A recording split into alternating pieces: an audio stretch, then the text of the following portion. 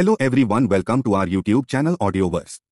Reincarnation of the strongest sword god. Chapter 221 to 230 यह मुझे एक विकल्प देने वाला भी नहीं है। सिस्टम नोटिफिकेशन को देखते ही अथर्व फूट फूट कर हंसे। अथर्व को एपिक क्वेस्ट को अस्वीकार करने का अधिकार भी नहीं था। अथर्व वास्तव में भ्रमित था कि फैंटेसी एक्सटिंग विशर वास्तव में इस एपिक क्वेस्ट को कैसे पूरा करने में कामयाब रहा। सिद्धांत रूप में वह खोज को पूरा करने में सक्षम नहीं होना चाहिए भले ही उसने पूरे काल्पनिक तीर्थ का त्याग कर दिया हो। जब क्रेडिट में परिवर्तित किया गया तो तीस हज़ार सोने के सिक्के तीन सौ मिलियन क्रेडिट के बराबर थे। इतने पैसे से कोई बड़ी कंपनी भी खरीद सकता है। इसके अलावा 300 मिलियन क्रेडिट अर्जित करने की कठिनाई की तुलना में, वास्तव में, गॉड्स डोमेन में तीस हज़ार स्वर्ण अर्जित करना बहुत कठिन था। अथर्व के लिए वास्तविकता में, अभी 300 मिलियन क्रेडिट अर्जित करना असंभव था। सच कहूँ तो अगर वह ऐसा करने में सक्षम होता तो वह बहुत पहले ही ऐसा कर चुका होता। भगवान के डोमेन को खेलने में परेशानी क्यों होती है? हालाँकि यह अभी भी उसके लिए बेहतर होगा कि वह खुद को गॉड्स डोमेन में विकसित करे, क्योंकि गॉड्स डोमेन में अधिक संभावनाएँ थीं। गॉड्स डोमेन में क्रेडिट अर्जित करना वास्तव में क्रेडिट अर्जित करने की तुलना में बहुत तेज होगा। महामहिम ये अथर्व, अब से पूरी स्टारस्ट्रेक ट्रेडिंग फर्म आपके नियंत्रण में होगी। आप जो भी आदेश देंगे हम उसका पालन करेंगे। साथ ही मैं आपको किसी से मिलवाना चाहूँगा। अगर महामहिम को किसी चीज़ की ज़रूरत है तो बस उसे बताएँ, हेनरी ने एक बार ताली बजाते हुए कहा। इस समय कार्यालय के बड़े दरवाजे अचानक खुल गए और सुनहरे सुनहरे बालों वाली एक खूबसूरत लड़की ने कार्यालय में कदम रखा। नीली आँखों वाली लड़की ने बैंगनी रंग की एक सुंदर पोशाक पहनी थी, उसकी पोशाक के किनारे लाल कालीन वाले फर्श से टकरा गए। लड़की का गोरा और सुंदर चेहरा था और उसके लंबे लहराते बाल जो उसके नितंबों तक पहुँचे थे, हवा में हिलते डुलते थे। उसकी चूड़ियों ने उसकी समुद्र नीली बाई आँख को ढक दिया, जबकि उसकी खुली हुई दाहिनी आँख एक चमकदार, नीले रत्न की तरह लग रही थी। जैसे ही वो अथर्व और प्रेसिडेंट हेनरी के करीब गई, उसके पतले लाल होठों ने एक शांत, फिर भी आकर्षक मुस्कान बनाई। अन्ना, आज से महामहिम ये Atharva star street trading firm के कार्यवाहक अध्यक्ष होंगे, जबकि आप महामहिम के सहायक होंगे। आपको महामहिम की ठीक से मदद करनी चाहिए, समझे, हेनरी ने पूछा। हाँ राष्ट्रपति। मैं महामहिम ये अथर्व को निराश नहीं करूँगा। जिसके बाद, हेनरी ने अथर्व पर मुस्कुराते हुए कहा, महामहिम ये अथर्व, आज से स्टार स्ट्रीट ट्रेडिंग फर्म का भाग्य आपके हाथों में होगा। Anna star street trading firm से बहुत परिचित हैं और वह बहुत बुद्धिमान और सक्षम भी हैं। यदि आपके पास कोई आज्ञा है तो कृपया उसे उन्हें पूरा करने में संकोच न करें। सिस्टम प्लेयर ने एनपीसी एडमिनिस्ट्रेशन सिस्टम को सक्रिय कर दिया है। कृपया अपने अधीनस्थ एनपीसीज को प्रबंधित करने के लिए एनपीसी व्यवस्थापन इंटरफेस को कॉल करें। हेनरी की मुस्कान देखकर अन्ना के आकर्षक रूप के अलावा अथर्व थोड़ा दंग रह गया। वह लगभग महसूस कर सकता था कि उसके माथे से ठंडा पसीना टपक रहा है। हेनरी को स्पष्ट रूप से चिंता थी कि अथर्व उनकी मदद करने में अपना सब कुछ नहीं देंगे। इस प्रकार हेनरी ने अथर्व को यह लाभ दिया था। जुर्माना। फिर स्टार स्ट्रीट ट्रेडिंग फर्म का मामला मुझ पर छोड़ दें, अथर्व फूट फूट कर हंसे। उसने कभी नहीं सोचा था कि उसे ईश्वर के क्षेत्र में एक सुंदर सहायक मिल सकता है। एक गिल्ड लीडर भी इस तरह के व्यवहार का आनंद नहीं उठाएगा। साथ ही, अथर्व ने इस बात से राहत महसूस की कि उन्हें स्टार स्ट्रीट ट्रेडिंग फर्म को तीस हज़ार गोल्ड देने की आवश्यकता नहीं थी। इसके बजाय, उसे केवल ट्रेडिंग फर्म को तीस हज़ार गोल्ड बनाने में मदद करने की ज़रूरत थी। निस्संदेह, खोज की कठिनाई बहुत कम हो गई थी। तुरंत अथर्व ने एनपीसी प्रशासन इंटरफेस की जाँच करते हुए सिस्टम इंटरफेस को बुलाया। एना, ये अथर्व के सहायक। लिंग महिला। आयु बीस। वफादारी पचास।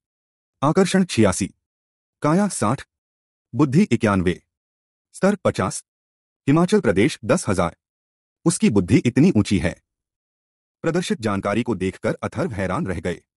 गॉड्स डोमेन में विजडम ने एनपीसी की क्षमता का निर्धारण किया। आमतौर पर एनपीसी में 50 अंकों से अधिक की बुद्धि नहीं होती। यदि एनपीसी की बुद्धि 60 अंक तक पहुँच जाती है तो वे भगवान के डोमेन में असाधारण स्थिति प्राप्त करेंगे। इस बीच बुद्धि में 70 अंक वाले आमतौर पर टीयर दो जादूगर थे। एनपीसी के लिए जिनके पास बुद्धि में 90 अंक थे, वे आमतौर पर शर्लिन टीयर तीन दिव्य अधिकारी जैसे पात्र थे।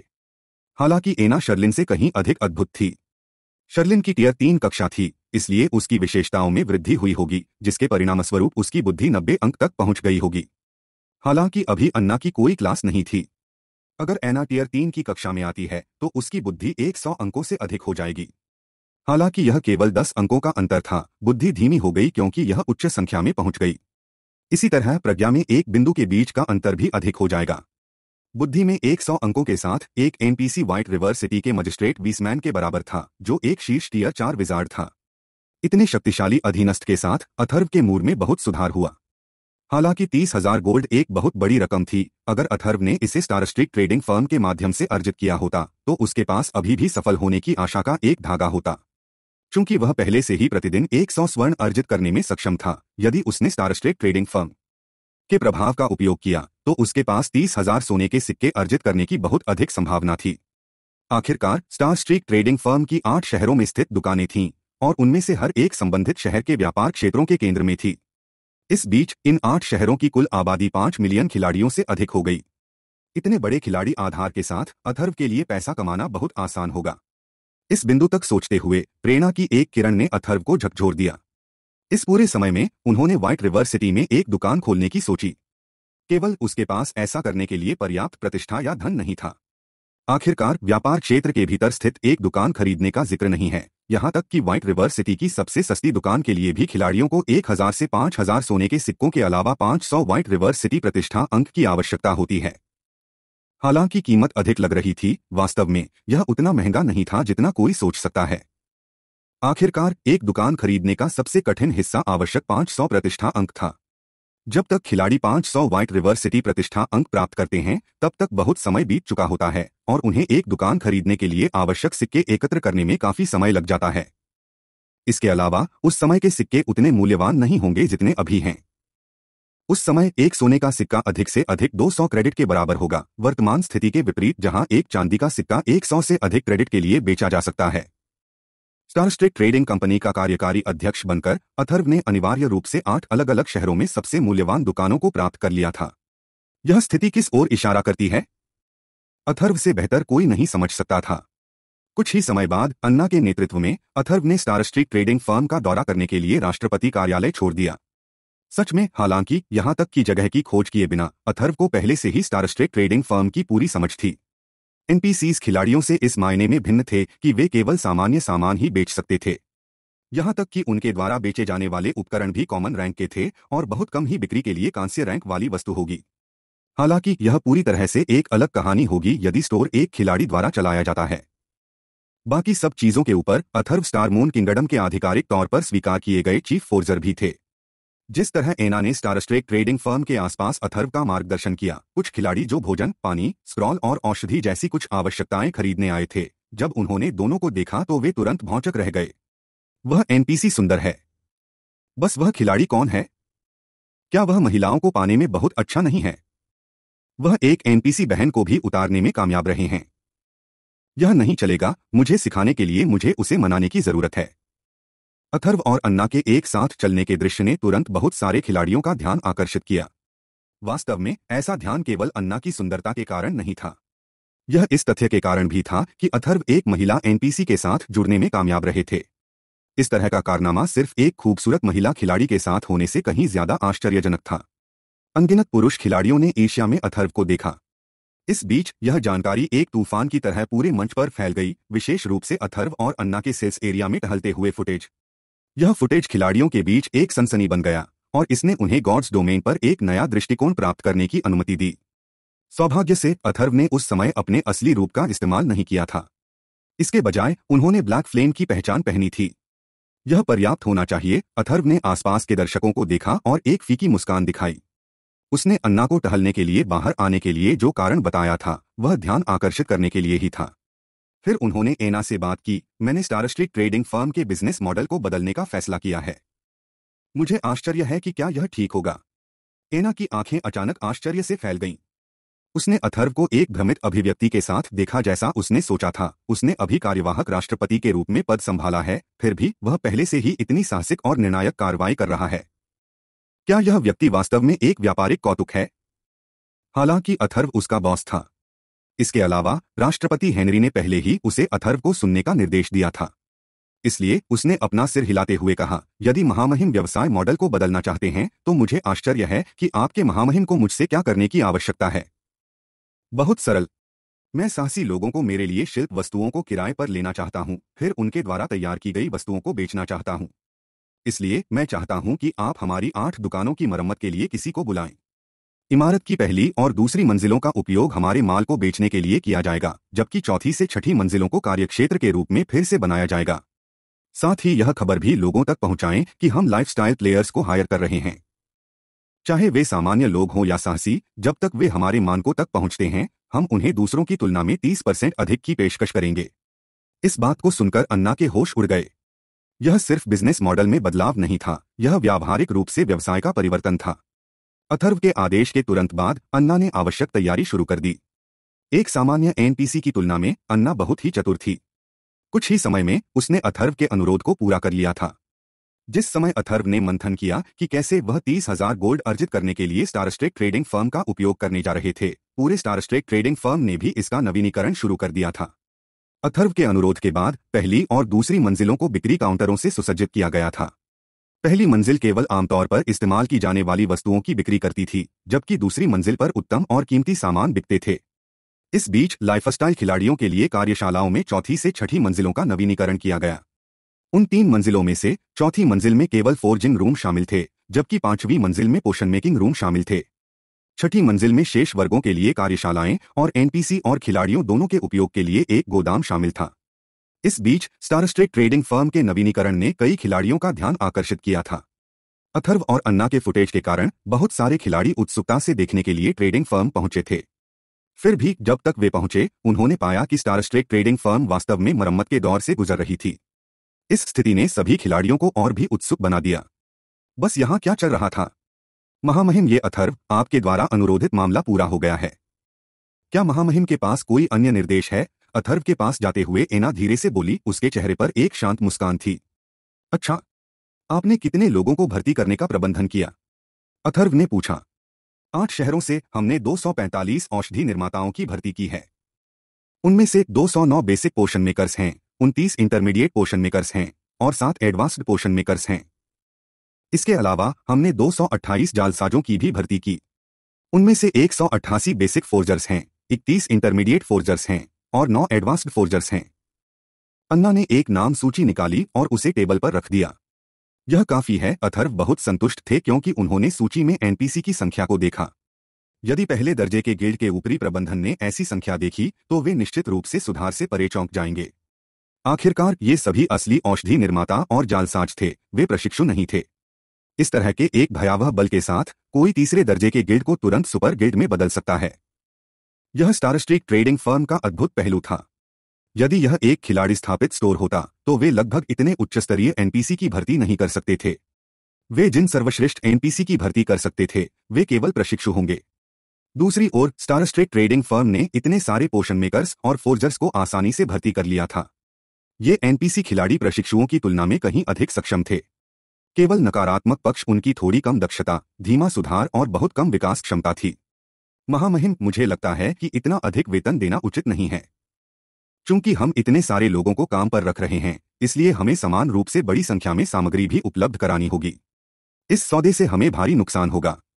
अगर हम इसी रास्ते पर चलते रहे तो एक महीने की बात ही क्या, स्टार स्ट्रीट ट्रेडिंग फर्म दस दिनों के भीतर दिवालिया हो जाएगी, अन्ना ने चिंतित होकर कहा।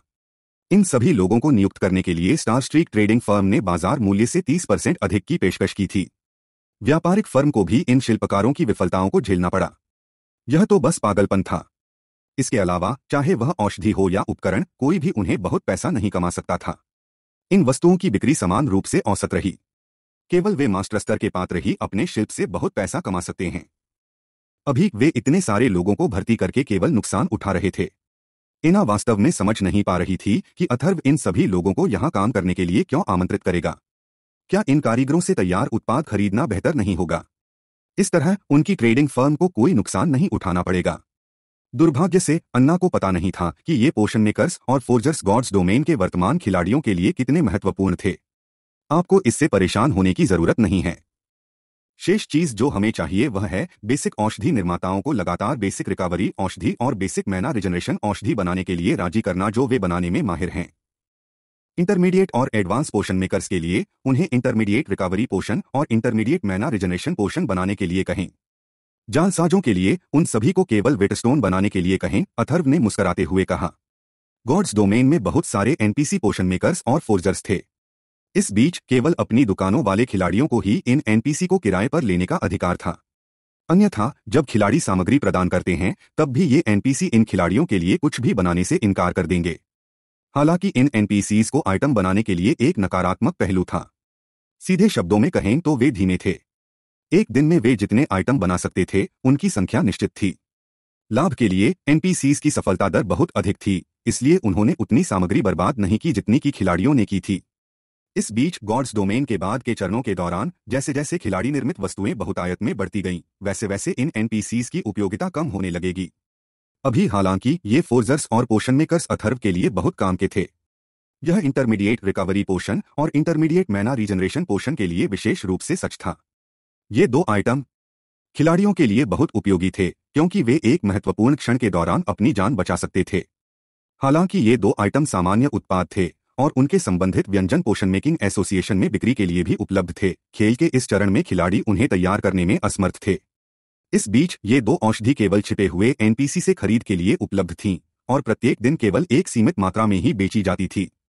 वे ऐसे आइटम थे जिनका आनंद लेने का भगवान के डोमेन के अधिकांश खिलाड़ियों के पास कोई मौका नहीं था। यदि ये एनपीसी पोषण मेकर्स इन दो औषधियों को तैयार करते हैं तो उनकी सफलता दर सत्तर परसेंट से अधिक होगी। एक मध्यवर्ती पोषण बनाने के लिए आवश्यक सामग्री केवल 30 से 40 तांबे के आसपास थी, फिर भी प्रत्येक पूर्ण बोतल पाँच से छह चांदी के सिक्कों में बिक सकती थी। अगर अथर्व ने काम पर रखने की लागत घटा दी तो भी वह चार से पाँच चांदी के सिक्कों का लाभ कमाएगा। तो वह इस लेन देन को क्यों नहीं करेगा? खिलाड़ियों को अभी इन्हीं चीज़ों की सबसे ज़्यादा ज़रूरत थी। यदि स्टार स्ट्रीट ट्रेडिंग फर्म ने इन वस्तुओं को बेच दिया तो वे बहुत लाभ कमाएँगे। वेटस्टोन भी थे। यह एक ऐसी चीज़ थी जिसकी सभी खिलाड़ियों में कमी थी। वर्तमान में हार्ड स्टोन्स का प्रत्येक ढेर तेरह चांदी के सिक्कों के लिए बेचा जाता है, जबकि वेटस्टोन्स का ढेर चालीस चांदी के सिक्कों के लिए बेचा जाता है। फोर्जिंग अप्रेंटिस और एक आधिकारिक फोर्जर की सफलता दर की तुलना करते समय पूर्व कैसे बाद वाले पर जीत की उम्मीद कर सकता है। एकमात्र समस्या सामग्री थी। जैसा कि स्टारस्ट्रेक ट्रेडिंग फर्म ने पहले केवल फोर्जर्स और पोषण में कर्ज से तैयार उत्पाद खरीदे थे, उनके पास अपनी खुद की कोई सामग्री जमा नहीं थी। अब उन्हें इन शिल्पकारों के लिए सामग्री उपलब्ध कराने की आवश्यकता थी। हालाँकि ट्रेडिंग फर्म कम कीमतों पर अधिक सामान्य सामग्री खरीद सकती थी लेकिन अथर्व को intermediate recovery potion intermediate mana regeneration potion और वेटस्टोन बनाने के लिए आवश्यक सामग्रियों को इकट्ठा करने की ज़रूरत थी। हालाँकि अथर्व इससे डरे नहीं थे। इंटरमीडिएट रिकवरी पोषण और इंटरमीडिएट मैना रिजनरेशन पोषण बनाने के लिए आवश्यक जड़ी बूटियाँ बहुत महँगी नहीं थीं। आखिरकार ये जड़ी बूटियाँ अभी खिलाड़ियों के लिए बिल्कुल बेकार थीं। इस समय गॉड्स डोमेन के खिलाड़ी अभी भी अप्रेंटिस पोषण मेकर्स थे। बेसिक रिकवरी पोटेंशियल बनाना पहले से ही प्रभावशाली था। वे बेकार सामग्री को बेकार औषधि बनाने के लिए परेशान क्यों करेंगे? नतीजतन इंटरमीडिएट रिकवरी पोषण और इंटरमीडिएट मैना रिजनरेशन पोषण तैयार करने के लिए आवश्यक जड़ी बूटियाँ बहुत सस्ती थीं। जहाँ तक हार्ड स्टोन्स की बात है, अथर्व चिंतित नहीं थे। आखिरकार, उनके गोदाम में अभी भी एक विशाल स्टॉक था। इन एनपीसी जालसाजों के लिए उनके पास लंबे समय तक पर्याप्त था। इसके अलावा, वह उन्हें एकवा रोज से खरीदना भी जारी रख सकता था। उसे सख्त पत्थरों की बिल्कुल भी कमी नहीं होगी। वह इन सामानों को आठ अलग अलग शहरों में भी बेचता था। इन सभी फायदों के साथ लाभ नहीं कमाना चुनौतीपूर्ण होगा। इसके अलावा अथर्व ने अपना एक तुरुप का पत्ता भी दिखाया। उन्नत वेटस्टोन उन्नत वेटस्टोन्स सामान्य वेटस्टोन्स की तुलना में बहुत अधिक मज़बूत थे।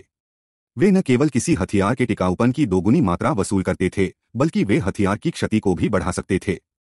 अथर्व पहले से ही सात चांदी के सिक्कों के लिए प्रत्येक को बेचने का इरादा रखता था, और एक ढेर एक सोने चालीस चांदी के सिक्कों के लिए बेचेगा। जब तक वह उन्नत वेटस्टोन्स को दूसरी मंजिल पर रखता है, तब तक अधिकांश खिलाड़ी इसके लिए लड़ेंगे, विशेष रूप से बड़े गिल्ड अक्सर नुकसान में सिर्फ़ एक परसेंट का अंतर बॉस के छापे की जीत या हार तय कर सकता है। इस बीच उन्नत वेटस्टोन ने हथियार की क्षति में तीन परसेंट की वृद्धि प्रदान की। तो विभिन्न गिल्ड जो वर्तमान में कालकोठरी पर छापा मारने की हड़बड़ी में थे, इस मद से कैसे चूक सकते हैं? वे निश्चित रूप से उन्हें खरीदने के लिए पागल हो जाएँगे। पहले अथर्व ने अपने निजी इस्तेमाल के लिए सभी उन्नत वेटस्टोन रखे थे।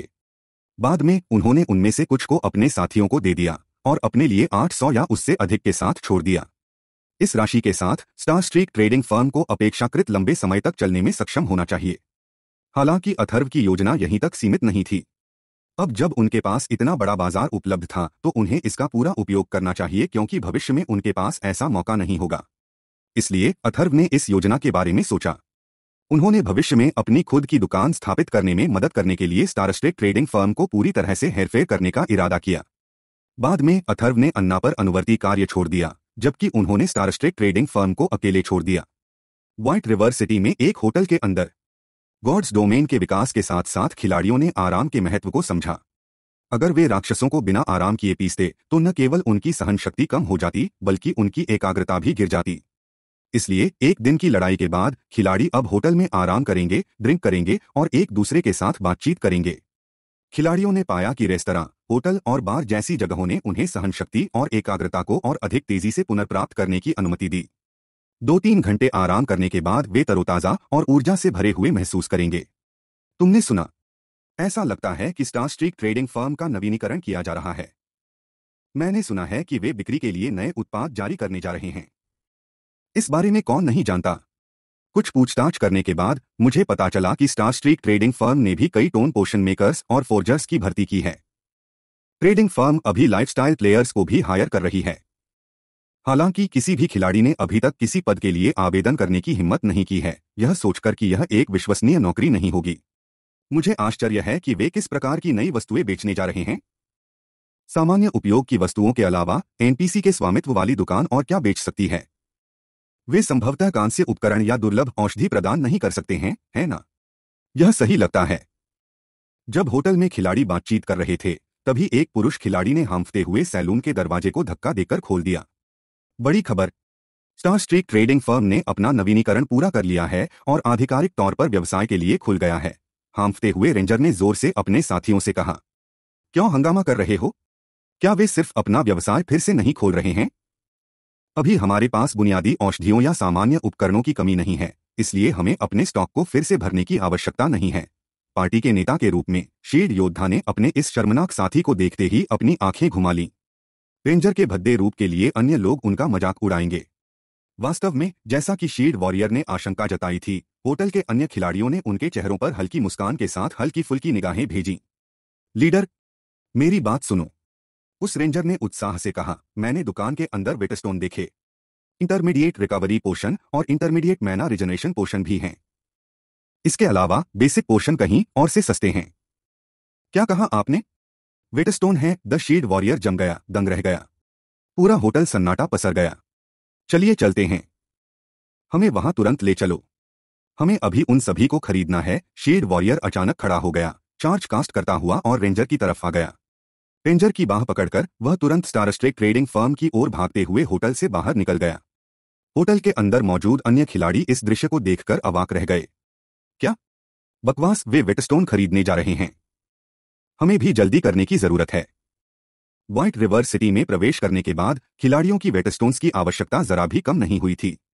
उल्टे उनकी जरूरतें बढ़ गई थीं। यह विशेष रूप से सच था जब उन्होंने उच्चस्तरीय राक्षसों का सामना किया, क्योंकि उनके हथियारों का स्थायित्व बहुत तेज दर से कम हो गया। परिणामस्वरूप वेटस्टोन्स की लोकप्रियता में विस्फोट हो गया था। उपलब्ध आपूर्ति मांग को पूरा करने से बहुत दूर थी। जब तक हर कोई स्टार स्ट्रीक ट्रेडिंग फर्म में पहुँचा, तब तक लोगों की भीड़ दुकान के दरवाजों को मिटा चुकी थी। वेटस्टोन्स के अलावा, उपस्थित खिलाड़ियों ने पागल लोगों की तरह इंटरमीडिएट रिकवरी और मैना रिजनेशन पोटेंशियल खरीदने के लिए भी संघर्ष किया। इस बीच यह सूचना विभिन्न संघों के कानों में तेज़ी से फैल गई थी। गिल्ड लीडर मैंने पहले ही अपने सभी सदस्यों से एक बड़ी राशि एकत्र कर ली है और हम हार्ड स्टोन्स के तीस ढेर खरीदने में कामयाब रहे हैं। यह राशि हमारे लंबे समय तक चलने के लिए पर्याप्त होनी चाहिए, स्टैबिंग हार्ट ने सिस्टम कम्युनिकेटर के माध्यम से बात की। अच्छा जिस क्षण पैसा बनाने वाली टीम सोने के सिक्कों के नवीनतम बैच को भेजती है, तुरंत हमारे सदस्यों से उधार लिए गए सभी पैसे वापस कर दें, क्रुएल स्वॉर्ड ने उत्साह से कहा। हत्यारे के गठबंधन के अलावा अन्य संघों ने भी जमकर धन इकट्ठा किया। स्नो, उस स्टारस्ट्रिक ट्रेडिंग फर्म में क्या हो रहा है? वे अचानक इन वस्तुओं को बेचना क्यों शुरू करेंगे? झाओ येरू ने अपनी वर्धमान भावों को सिकोड़ लिया जब उसने नवीनतम समाचारों को देखा जो उसे अभी अभी प्राप्त हुए थे। उसने फिर बेप्सी से कहा, हमने हार्ड स्टोन्स के अपने पिछले स्टॉक को खरीदने के लिए पहले ही बहुत पैसा खर्च कर दिया है। हमारे पास अभी और खरीदने के लिए पैसे नहीं हैं। मैंने सुना है कि स्टारस्ट्रीक ट्रेडिंग फर्म अभी सीमित संस्करण एडवांस्ड वेटस्टोन्स भी बेच रही है। अफवाह यह है कि उन्नत वेटस्टोन का प्रभाव सामान्य वेटस्टोन से कम से कम दोगुना है। इसके अलावा, यह तीन परसेंट डैमेज बफ भी प्रदान करता है। हालाँकि यह थोड़ा अधिक महँगा है, इसकी कीमत सात चांदी के सिक्के प्रति नग है। हमारे लिए उनके साथ कालकोठरी मालिकों पर छापा मारना बहुत आसान होगा। जेंटल स्नो ने अपना सिर हिलाया। उसके सुंदर चेहरे पर एक असहाय अभिव्यक्ति दिखाई दे रही थी, जैसे उसने कहा, सामान्य परिस्थितियों में एनपीसी इन वस्तुओं को कभी नहीं बेचेंगे। हालाँकि कुछ अजीब चल रहा है। एक खिलाड़ी ने स्टार स्ट्रीक ट्रेडिंग फर्म के साथ संबंध बनाया है। मैं बस सोच रहा हूँ कि ऐसी उपलब्धि कौन हासिल कर सकता है। साथ ही, इतने सारे वेटस्टोन और इंटरमीडिएट औषधि की आपूर्ति करने के लिए किसके पास पर्याप्त धन होगा? यह अविश्वसनीय है। इस मामले की जाँच के लिए तुरंत किसी को भेजें। हाल ही में उसने 20 सोने के सिक्के जुटाने में कामयाबी हासिल की थी और उस पैसे से हार्ड स्टोन्स खरीदे थे। फिर भी स्टार स्ट्रीक ट्रेडिंग फर्म ने अब वेट स्टोन्स को बेच दिया। इस घटना से पहले उसे कोई सूचना नहीं मिली थी, जिससे उसे विपत्ति का सामना करना पड़ा। वर्तमान में हथियार स्थायित्व के मुद्दे ने उनके कालकोठरी पर छापा मारने की प्रगति में बाधा उत्पन्न की थी। जब तक उनके गिल्ड के जालसाज उन कठोर पत्थरों को वेटस्टोन में बदलने में कामयाब होंगे, तब तक सब कुछ बहुत देर हो चुकी होगी। अन्य गिल्डों ने उन्हें पार कर लिया होगा। उन्हें इसी क्षण वेटस्टोन प्राप्त करने की आवश्यकता थी, विशेष रूप से उन्नत वेटस्टोन। इस बीच, फोर्जिंग एसोसिएशन में एक इंटरमीडिएट फोर्जिंग रूम के अंदर, अथर्व ने वर्तमान में उन्नत वेटस्टोन तैयार किए। उन्होंने अपनी फोर्जिंग दक्षता बढ़ाने और पैसा कमाने के लिए ऐसा किया। वर्तमान बाज़ार पहले जैसा नहीं रहा। स्टारस्ट्रिक ट्रेडिंग फर्म के साथ, वह अब अपने द्वारा बनाए गए एडवांस्ड वेटस्टोन्स को आठ शहरों में बेच सकता है। हालाँकि उन्नत वेटस्टोन कुछ महँगे थे, फिर भी आठ शहरों के खिलाड़ी उन्हें खरीदेंगे। यहाँ तक कि अगर अथर्व 24 घंटे उन्नत वेटस्टोन बनाता है, तब भी वह आठ शहरों की मांग को पूरा नहीं करेगा। वर्तमान में सोने के सिक्के स्टारस्ट्रिक ट्रेडिंग फर्म के खातों में हर बीतते पल के साथ डाले जाते हैं। अथर्व ने मनी सिस्टम नोटिफिकेशन खोलने की हिम्मत भी नहीं की। स्टार स्ट्रीक ट्रेडिंग फर्म को फिर से खुले हुए केवल एक छोटा घंटा बीत चुका था, फिर भी इसने पहले ही 300 से अधिक सोने के सिक्के अर्जित कर लिए थे। हालाँकि यह केवल शुरुआत थी। चीज़ें बाद में और रोमांचक हो जाएँगी। पैसे कमाने के अलावा, एडवांस्ड वेटस्टोन्स बनाने में अथर्व का लक्ष्य खुद को एक एडवांस्ड फोर्जिंग अप्रेंटिस में अपग्रेड करना था। यदि वह एक उन्नत फोर्जिंग अप्रेंटिस बन जाता है तो वह स्टोहैमर टाउन से प्राप्त जादू की उन्नत पुस्तक सीख सकता है। पहले उनके पास केवल व्हाइट रिवर सिटी ही उनके माल के लिए एकमात्र बाज़ार था। हालाँकि अब उसके पास आठ बाज़ार थे। उन्हें कोई उच्च प्रसंस्करण शुल्क भी नहीं देना था, इसलिए वह इस मौके को बर्बाद नहीं कर सकते थे। अथर्व का इरादा आठ शहरों के बीच एक प्रभावशाली प्रतिष्ठा और प्रतिष्ठा हासिल करना था। हालाँकि इस परिणाम को प्राप्त करने के लिए अकेले उन्नत वेटस्टोन पर्याप्त नहीं थे। इसके अलावा उन्नत वेटस्टोन्स उनकी प्रतिष्ठा में वृद्धि नहीं कर सका, क्योंकि इन चीज़ों में उनकी व्यक्तिगत छाप नहीं थी। केवल स्टारस्ट्रेक ट्रेडिंग फर्म ही इन उन्नत वेटस्टोन्स से प्रतिष्ठा प्राप्त करेगी। सबसे महत्वपूर्ण बात यह है कि उन्नत वेटस्टोन्स के लाभों का स्वाद चखने के बाद वे उत्सुकता से जाँच करेंगे कि वे नुस्खा कैसे प्राप्त कर सकते हैं। आखिरकार, उन्नत वेटस्टोन के लिए नुस्खा अद्वितीय नहीं था। खिलाड़ी उन्हें कई टीम दंग से प्राप्त कर सकते थे। जब तक अथर्व ने अपनी दुकान खोली, तब तक उसके पास वह फ़ायदा नहीं था जो अभी उसके पास था। इस प्रकार उन्हें एक उन्नत फोर्जिंग अप्रेंटिस बनने और एडवांस्ड बुक ऑफ़ मैजिक सीखने की ज़रूरत थी, जिससे एक और केवल मन आर्मर किट का निर्माण हुआ। एक बार जब उसने मैना आर्मर किट के साथ ब्लैक फ्लेम फोरगर की प्रतिष्ठा को पूरी तरह से फैला दिया, जो केवल वही बना सकता था तो कई खिलाड़ी उसे खोज लेंगे। शांत और भाप से भरे फोर्जिंग रूम में एक गहरी नीली लौ शानदार ढंग से जलती है, क्योंकि यह अगले के बाद एक हार्ड स्टोन को परिष्कृत करती है। मूल रूप से उन्नत वेटस्टोन बनाने की सफलता दर कम थी। फिर भी, जब अथर्व ने उन्हें बनाया तो प्रक्रिया बहते पानी की तरह चिकनी थी।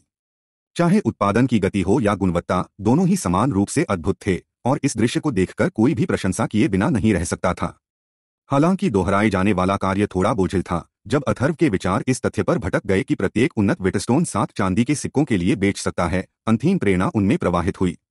अथर्व द्वारा इस श्रमसाध्य कार्य को शुरू किए तीन घंटे बीत जाने के बाद, उन्होंने 180 उन्नत वेटस्टोन बनाए थे। उसकी गति व्यावहारिक रूप से संयुक्त रूप से तीन या चार जालसाजों की दक्षता को टक्कर दे सकती थी। इसके अलावा, इसे देखे बिना, अथर्व ने भी अपने पहले के खोए हुए स्तर को वापस पा लिया था। स्तर चौदह से स्तर पंद्रह पर लौट रहा था। उसकी वर्तमान गति सामान्य राक्षसों को पीसने की तुलना में कहीं अधिक कुशल थी। थोड़ा आराम करने का फैसला करने के बाद, अथर्व ने अपनी वर्तमान फोर्जिंग दक्षता की जाँच की। यह अभी पहले ही एक हज़ार दो सौ तिरपन अंक पर था। इंटरमीडिएट फोर्जिंग अप्रेंटिस से उन्नत फोर्जिंग अप्रेंटिस में पदोन्नत होने के लिए उन्हें तीन हज़ार प्रवीणता अंकों की आवश्यकता थी। जब तक वह दो या तीन दिनों तक कड़ी मेहनत करता रहा, तब तक वह एक उन्नत फोर्जिंग अप्रेंटिस बन सकता था। अगर अन्य खिलाड़ियों को अथर्व के प्रचार की गति के बारे में पता होता तो वे मूर्ख हो सकते थे। आखिरकार पूरे व्हाइट रिवर सिटी क्षेत्र में अथर्व के अलावा एक भी इंटरमीडिएट फोर्जिंग अप्रेंटिस नहीं मिला। अथर्व की फोर्जिंग प्रमोशन की गति राक्षसी रूप से तेज थी।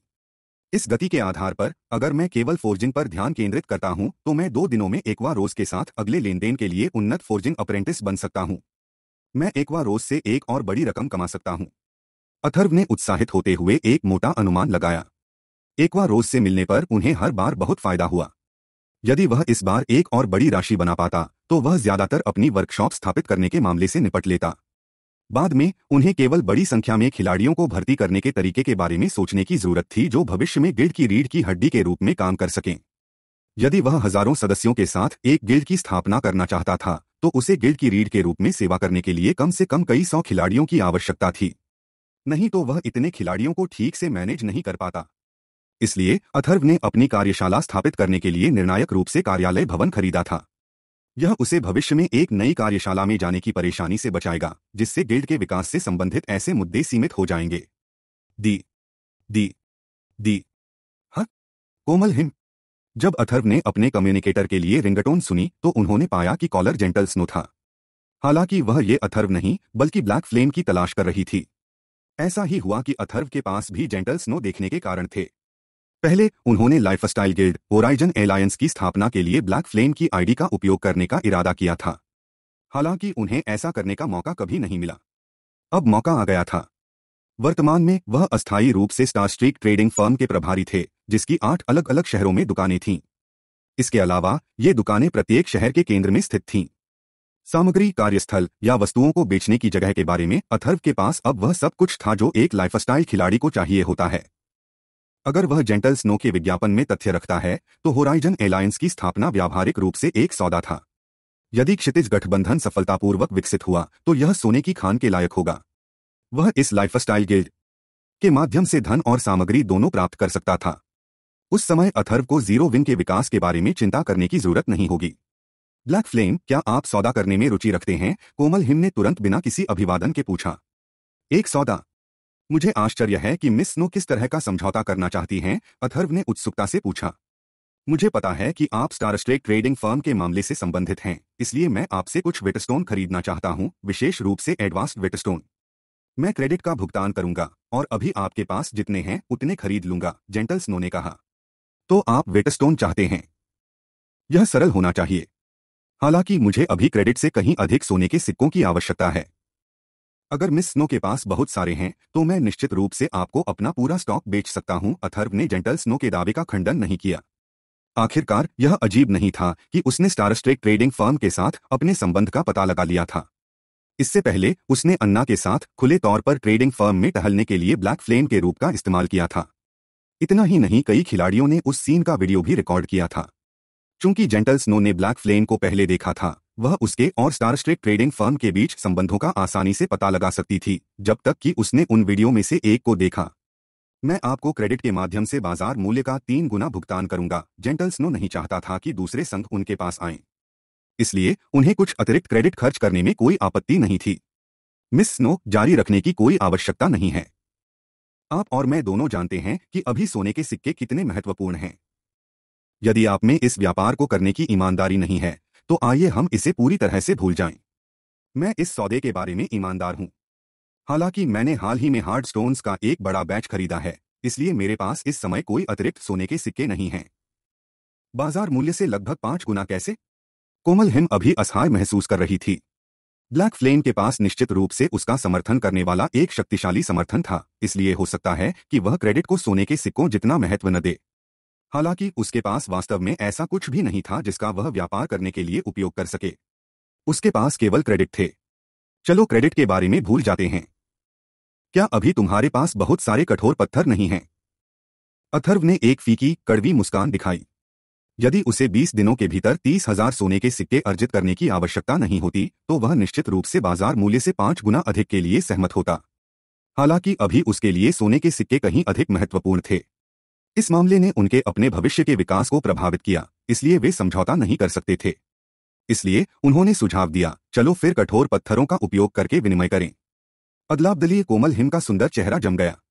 चौंक कर उसने पूछा, विनिमय का अनुपात क्या होगा? यह आप पर निर्भर करेगा। सामान्य वेटस्टोन के लिए यह एक से चार का अनुपात होगा। उन्नत वेटस्टोन के लिए मुझे एक से नौ के अनुपात की आवश्यकता है, अथर्व ने शांति से कहा। जुर्माना हालाँकि मुझे केवल उन्नत वेटस्टोन चाहिए। इसके अलावा मैं तुरंत व्यापार करना चाहता हूँ। मामले पर कुछ विचार करने के बाद जेंटल स्नो ने महसूस किया कि यह आदान प्रदान उचित लग रहा था। हालाँकि जेंटल स्नो ने अंदर ही अंदर बहुत नफरत करने के लिए अथर्व को कोसा। यह स्टारमून किंगडम के मुख्य जालसाज की अपेक्षा के अनुरूप है। अगर उसने अपने गिल्ड में जालसाजों को अभी वेटस्टोन बनाने की अनुमति दी तो वे हर चार या पाँच हार्ड स्टोन के साथ एक वेटस्टोन का उत्पादन कर सकते थे। इस बीच अथर्व ने चार हार्ड स्टोन के लिए एक वेटस्टोन का व्यापार करने का सही सुझाव दिया था। इस आदान प्रदान का परिणाम उस परिणाम से थोड़ा बेहतर था, जो उसके गिल्ड में उत्पन्न हो सकता था। इसलिए, जेंटल स्नो उन्नत वेटस्टोन्स के लिए हार्ड स्टोन्स के अपने अधिकांश स्टॉक का व्यापार करने के लिए सहमत हो गई, शेष को फोर्जिंग प्रवीणता बढ़ाने के लिए उसके गिल्ड में फोर्जर्स के लिए छोड़ दिया। तो ठीक है। एक बार जब आप स्टार स्ट्रीक ट्रेडिंग फर्म में पहुंचें तो अन्ना नाम के एक एनपीसी की तलाश करें। वो तुरंत एक्सचेंज का संचालन करेगी, अथर्व ने हँसते हुए निर्देश दिया। इसके तुरंत बाद, अथर्व ने उन्नत वेटस्टोन्स के अपने उत्पादन को फिर से शुरू करते हुए कॉल काट दिया। अथर्व का जेंटल स्नो के साथ व्यापार केवल एक छोटा सा अंतराल था। अथर्व के निर्देशों के तहत जेंटल स्नो ने अन्ना के साथ उन्नत वेटस्टोन के चार ढेरों का आदान प्रदान करने के बाद, अन्ना ने विनिमय तंत्र को जनता के लिए खोल दिया।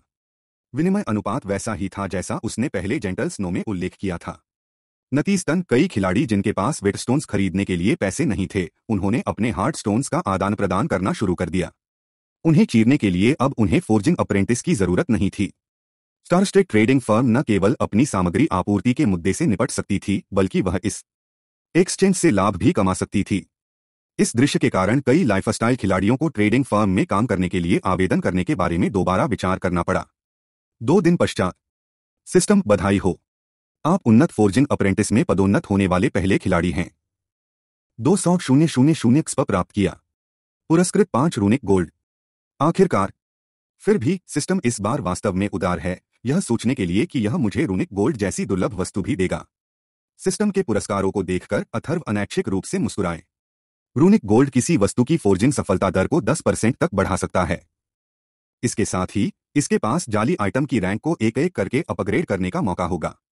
रूनिक स्टील के विपरीत, जो केवल किसी वस्तु की गुणवत्ता को अधिकतम फाइन गोल्ड रैंक तक बढ़ा सकता है रूनिक गोल्ड आइटम की गुणवत्ता को डार्क गोल्ड रैंक तक बढ़ा सकता है। हालाँकि अथर्व की खुशी उन्नत फोर्जिंग अप्रेंटिस के प्रचार पर केंद्रित थी। जब से उनकी फोर्जिंग प्रवीणता 2000 अंक तक पहुँच गई थी, तब से एडवांस वेटस्टोन्स ने 100 परसेंट बार एक प्रवीणता बिंदु को पुरस्कृत नहीं किया। उनके पास प्रवीणता अंक को पुरस्कृत करने का केवल 70 परसेंट मौका था। इस बीच 2500 अंक तक पहुँचने के बाद एक प्रवीणता अंक प्राप्त करने का केवल 40 परसेंट मौका था, जबकि 2800 अंक पर वह मौका और 20 परसेंट तक कम हो गया। फोर्जिंग में दो दिन बिताने के बाद वह आखिरकार एक एडवांस्ड फोर्जिंग अप्रेंटिस के रूप में पदोन्नति अर्जित करने में सफल रहे। एडवांस्ड फोर्जिंग अप्रेंटिस बनने के बाद अथर्व ने तुरंत अपने बैग से एडवांस्ड बुक ऑफ़ मैजिक को वापस ले लिया, बिना किसी हिचकिचाहट के इसे सीखने का फैसला किया। अचानक एक सुनहरी चमक ने अथर्व के शरीर को घेर लिया। और अथर्व के दिमाग में मैजिक आर्मर किट बनाने का ज्ञान प्रकट हुआ। इन दो दिनों के दौरान लगातार उन्नत वेटस्टोन का उत्पादन करने और अपनी फोर्जिंग दक्षता बढ़ाने के अलावा अथर्व ने दिन के दौरान अपने शरीर को प्रशिक्षित करना भी सुनिश्चित किया था। संयोग से उन्होंने अपनी कार्यशाला के लिए सिटी सेंटर में कार्यालय भवन भी खरीदा। अथर्व को किश्तों में कुल 60 मिलियन क्रेडिट का भुगतान करना था। उसने पहले 20 मिलियन क्रेडिट का भुगतान किया, जबकि शेष 40 मिलियन का भुगतान वह तीन महीने के भीतर करेगा। अथर्व ने white river city guide books को बेचकर 10 मिलियन से अधिक क्रेडिट भी अर्जित किए थे। उन्होंने अपनी कार्यशाला को पूरा करने के लिए विभिन्न गेमिंग सुविधाओं और अन्य वस्तुओं को खरीदने के लिए लगभग पाँच मिलियन का उपयोग किया। इस तरह, जब विश्वविद्यालय की फेलोशिप पार्टी में भाग लेने का समय आया तो उसके पास समर्थन के लिए पाँच मिलियन क्रेडिट और एक शानदार वर्कशॉप होगी। वह अभी छाया से कमज़ोर नहीं था। वर्कशॉप सुविधाओं और वातावरण की तुलना करते हुए, अथर्व की वर्कशॉप ने शैडो को पूरी तरह से नष्ट कर दिया। जबकि अथर्व पिछले दो दिनों से फोर्जिंग रूम में फंसा हुआ था। शहर में प्रवेश करने वाले कई खिलाड़ी उस दृश्य को देखकर चकित थे। उन्होंने कभी नहीं सोचा था कि शहर में इस तरह की सुविधाएँ मिलेंगी। वेटस्टोन्स अब गिल्ड्स द्वारा पूरी तरह से एकाधिकार वाली वस्तुएँ नहीं थीं। उन्हें स्टार स्ट्रीक ट्रेडिंग फर्म में दुर्लभ इंटरमीडिएट रिकवरी और मना पोषण के साथ खरीदा जा सकता है। व्हाइट रिवर सिटी में अन्य दुकानों की तुलना में स्टार स्ट्रीक ट्रेडिंग फर्म का स्टॉक कहीं अधिक संपूर्ण था। सबसे महत्वपूर्ण बात यह है कि स्टार स्ट्रीक ट्रेडिंग फर्म ही एकमात्र स्थान था जिसने उन्नत वेटस्टोन्स बेचे। यह item star streak trading firm का सिग्नेचर आइटम बन गया था और प्रतिदिन सीमित संख्या में ही बेचा जाता था। इस तरह के एक लाभ के साथ स्टार स्ट्रेक ट्रेडिंग फर्म ने अन्य दुकानों को दबाते हुए अपने कब्जे वाले आठ शहरों में तुरंत एक मज़बूत पैर जमा लिया। इन दो दिनों के दौरान, खिलाड़ी अब अपने सामान खरीदने के लिए अन्य दुकानों पर नहीं गए, क्योंकि वे स्टार स्ट्रीक ट्रेडिंग फर्म से अपनी ज़रूरत की सभी चीज़ें आसानी से खरीद सकते थे। नतीजतन ट्रेडिंग फर्म के लिए व्यापार में उछाल आया। इस बीच व्हाइट रिवर सिटी में एक बड़ी घटना भी हुई, और यहाँ तक कि अथर्व, जो भगवान के डोमेन के बारे में बेहद जानकार थे, हैरान रह गए। टेन गिल्ड्स ने अचानक समूह बना लिया था, जिससे एक पूरी तरह से नया, एकल गिल्ड बन गया। इस मामले ने पूरे व्हाइट रिवर सिटी क्षेत्र में स्तब्ध कर दिया। दूसरे दर्जे और तीसरे दर्जे के गिल्डों में से कई इस खबर से घबराने लगे। उन सभी ने अपने सदस्यों को दिए जाने वाले उपचार में वृद्धि की और लगातार नए सदस्यों को अपने गिल्ड में भर्ती करने का प्रयास किया। इसके साथ ही, उन्होंने छोटे संघों को अपने में मिलाने की गति भी बढ़ा दी। अनरिटेड संघों के लिए, उन्होंने आत्मसंरक्षण के लिए इन दूसरे दर्जे और तीसरे दर्जे के संघों के विलय का विरोध करने के लिए गठजोड़ करना शुरू कर दिया। व्हाइट रिवर सिटी जिसमें मूल रूप से वर्चस्व के लिए सैकड़ों गिल्ड एक दूसरे के साथ प्रतिस्पर्धा कर रहे थे, अचानक एक नए चरण में प्रवेश किया जहाँ केवल कुछ मुट्ठी भर शक्तियाँ एक दूसरे के साथ संघर्ष करती थीं। वास्तव में एक दर्जन या इतने ही गैर श्रेणीबद्ध संघ एक साथ आकर एक बड़े संघ का निर्माण करते हैं, जो इन द्वितीय दर और तृतीय दर संघों को बहुत अधिक प्रभावित नहीं करेगा। इस विलय ने इन शक्तिशाली संघों को डराने का मुख्य कारण इसके मूल में संघ था। यह शीर्ष स्तरीय तीसरे दर्जे के गिल्ड डार्क स्टार के अलावा कोई नहीं था। इसके अलावा डार्क स्टार के पास एक नया गिल्ड लीडर था। अकेला अत्याचारी अचानक डार्क स्टार का नया गिल्ड लीडर बन गया था, जबकि पिछले गिल्ड लीडर को अपने ही गिल्ड से बाहर कर दिया गया था। मूल रूप से डार्क स्टार के पास पहले से ही अकेला अत्याचारी था, जिसे रैंकिंग सूची में पहले स्थान पर रखा गया था। वे कई हार्ड मॉड टीम दंगन का पहला क्लियर प्राप्त करने में भी कामयाब रहे। पहले, उन्होंने व्हाइट रिवर सिटी में वर्चस्व को लेकर हत्यारे के गठबंधन के खिलाफ भी प्रतिस्पर्धा की थी। हालाँकि एक शक्तिशाली पृष्ठभूमि की कमी के कारण, वे थोड़े समय के भीतर और मज़बूत नहीं हो सके। अब जब अकेला अत्याचारी गिल्ड लीडर बन गया था तो न केवल डार्क स्टार ने बड़ी संख्या में गिल्डों को अपने कब्जे में ले लिया था, बल्कि वे कुछ छिपे हुए विशेषज्ञों की भर्ती करने में भी कामयाब रहे थे। विलय के कुछ ही समय बाद, डार्क स्टार ने दो हार्ड मॉड टीम दंग का पहला क्लियर प्राप्त किया था, और उनमें से एक बीस मैन हार्ड मॉड टीम दंग का पहला क्लियर भी था। परिणामस्वरूप डार्क स्टार की ख्याति एक बार फिर बढ़ गई। वे अब हत्यारे के गठबंधन के नीचे नहीं थे, वे पहले ही हत्यारे के गठबंधन को पार कर चुके होंगे। वर्तमान में व्हाइट रिवर सिटी में डार्क स्टार का प्रभाव पहले दर्जे के गिल्ड के प्रतिद्वंद्वी हो। सकता है। वे व्हाइट रिवर सिटी के अत्याचारियों में से एक बन गए थे। एक अन्य नोट पर अज्ञात कारणों से लोन अत्याचारी ने उन गैर श्रेणीबद्ध संघों को एकीकृत करने के बाद अथर्व के सिर पर एक इनाम रखा था। इसके अलावा उसने जो इनाम रखा वह काफ़ी उदार था।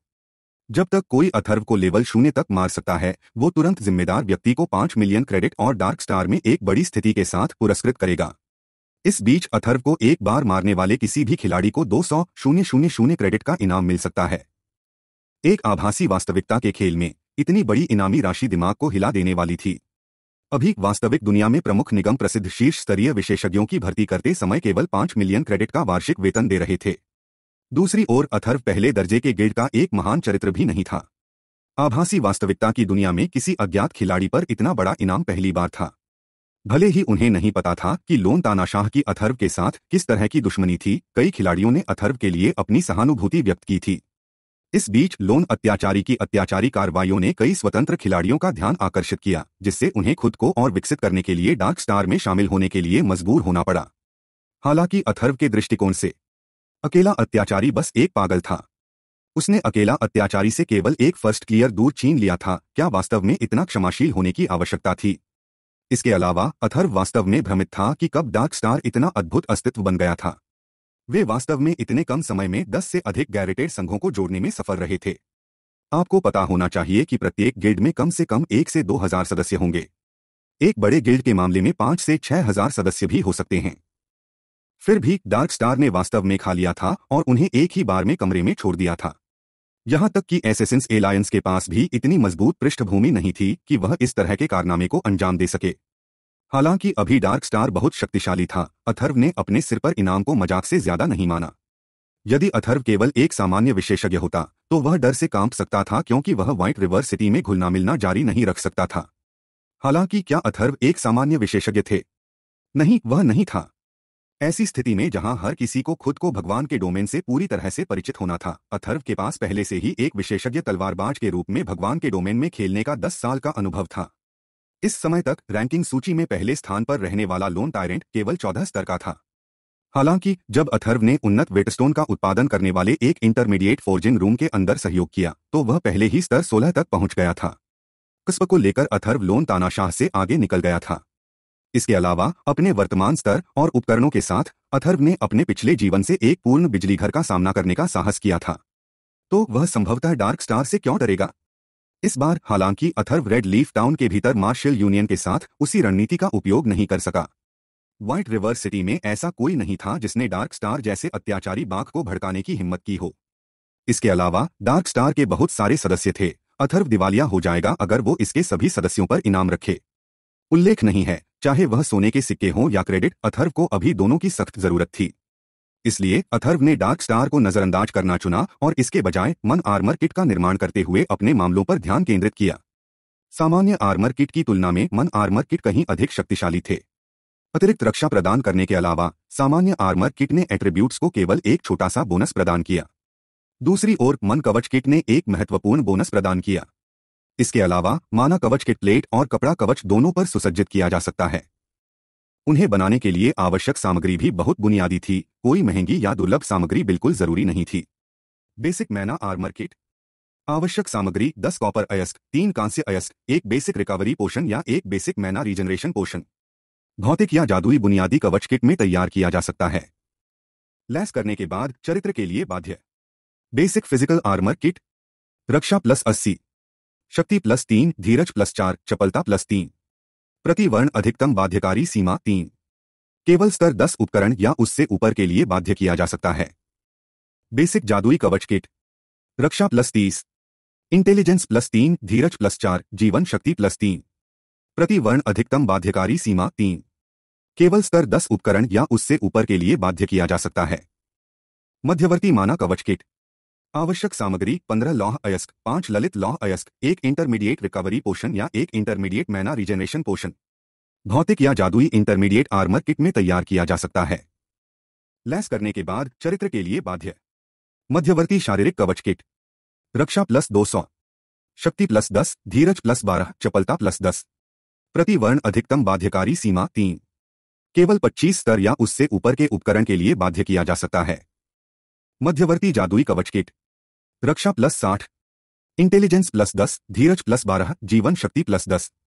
प्रतिवर्ण अधिकतम बाध्यकारी सीमा तीन। केवल 25 स्तर या उससे ऊपर के उपकरण के लिए बाध्य किया जा सकता है। उन्नत माना कवच किट। आवश्यक सामग्री 20 सिल्वर और 8 मिथ्रिल और दो एडवांस्ड रिकवरी पोषण या दो एडवांस्ड मैना रिजनरेशन पोषण भौतिक या जादुई उन्नत कवच किट में तैयार किया जा सकता है। लैस करने के बाद चरित्र के लिए बाध्य। उन्नत शारीरिक कवच किट। रक्षा प्लस चार सौ। शक्ति प्लस तीस, धीरज प्लस चालीस, चपलता प्लस तीस। प्रतिवर्ण अधिकतम बाध्यकारी सीमा तीन। केवल स्तर पचास उपकरण या उससे ऊपर के लिए बाध्य किया जा सकता है। उन्नत जादुई कवच किट। रक्षा प्लस एक सौ पचास।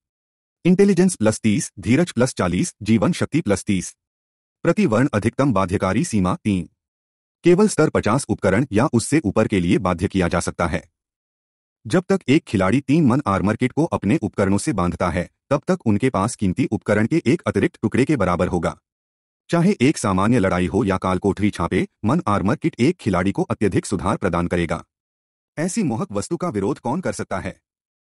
ट्रेड एरिया के मध्य में स्थित एक सड़क पर एक व्यक्ति ने अपने आप को एक हुड वाले लबादे के नीचे छिपाते हुए जल्दबाजी में सड़क के किनारे स्थित स्टार स्ट्रीट ट्रेडिंग फर्म की ऊँची इमारत में प्रवेश किया। इसकी अत्यधिक लोकप्रियता के कारण बहुत सारे खिलाड़ी स्टार स्ट्रीक ट्रेडिंग फर्म में प्रवेश कर रहे थे और छोड़ रहे थे। इसके अलावा, लबादा पहनने वाले खिलाड़ी ट्रेडिंग फर्म में आम थे, इसलिए जल्दबाजी करने वाले ने अन्य खिलाड़ियों का ध्यान आकर्षित नहीं किया। हालाँकि अगर कोई ध्यान से देखे तो उन्हें उसकी पीठ पर बंधी दो अति सुंदर लंबी तलवारें मिलेंगी। दो तलवारों में से एक ने एक फीकी चमक छोड़ी जो काली लौ जैसी थी, जबकि दूसरी ने प्रकाश की हरी धारा छोड़ी। कोई आसानी से बता सकता है कि ये दोनों तलवारें असाधारण वस्तुएँ थीं।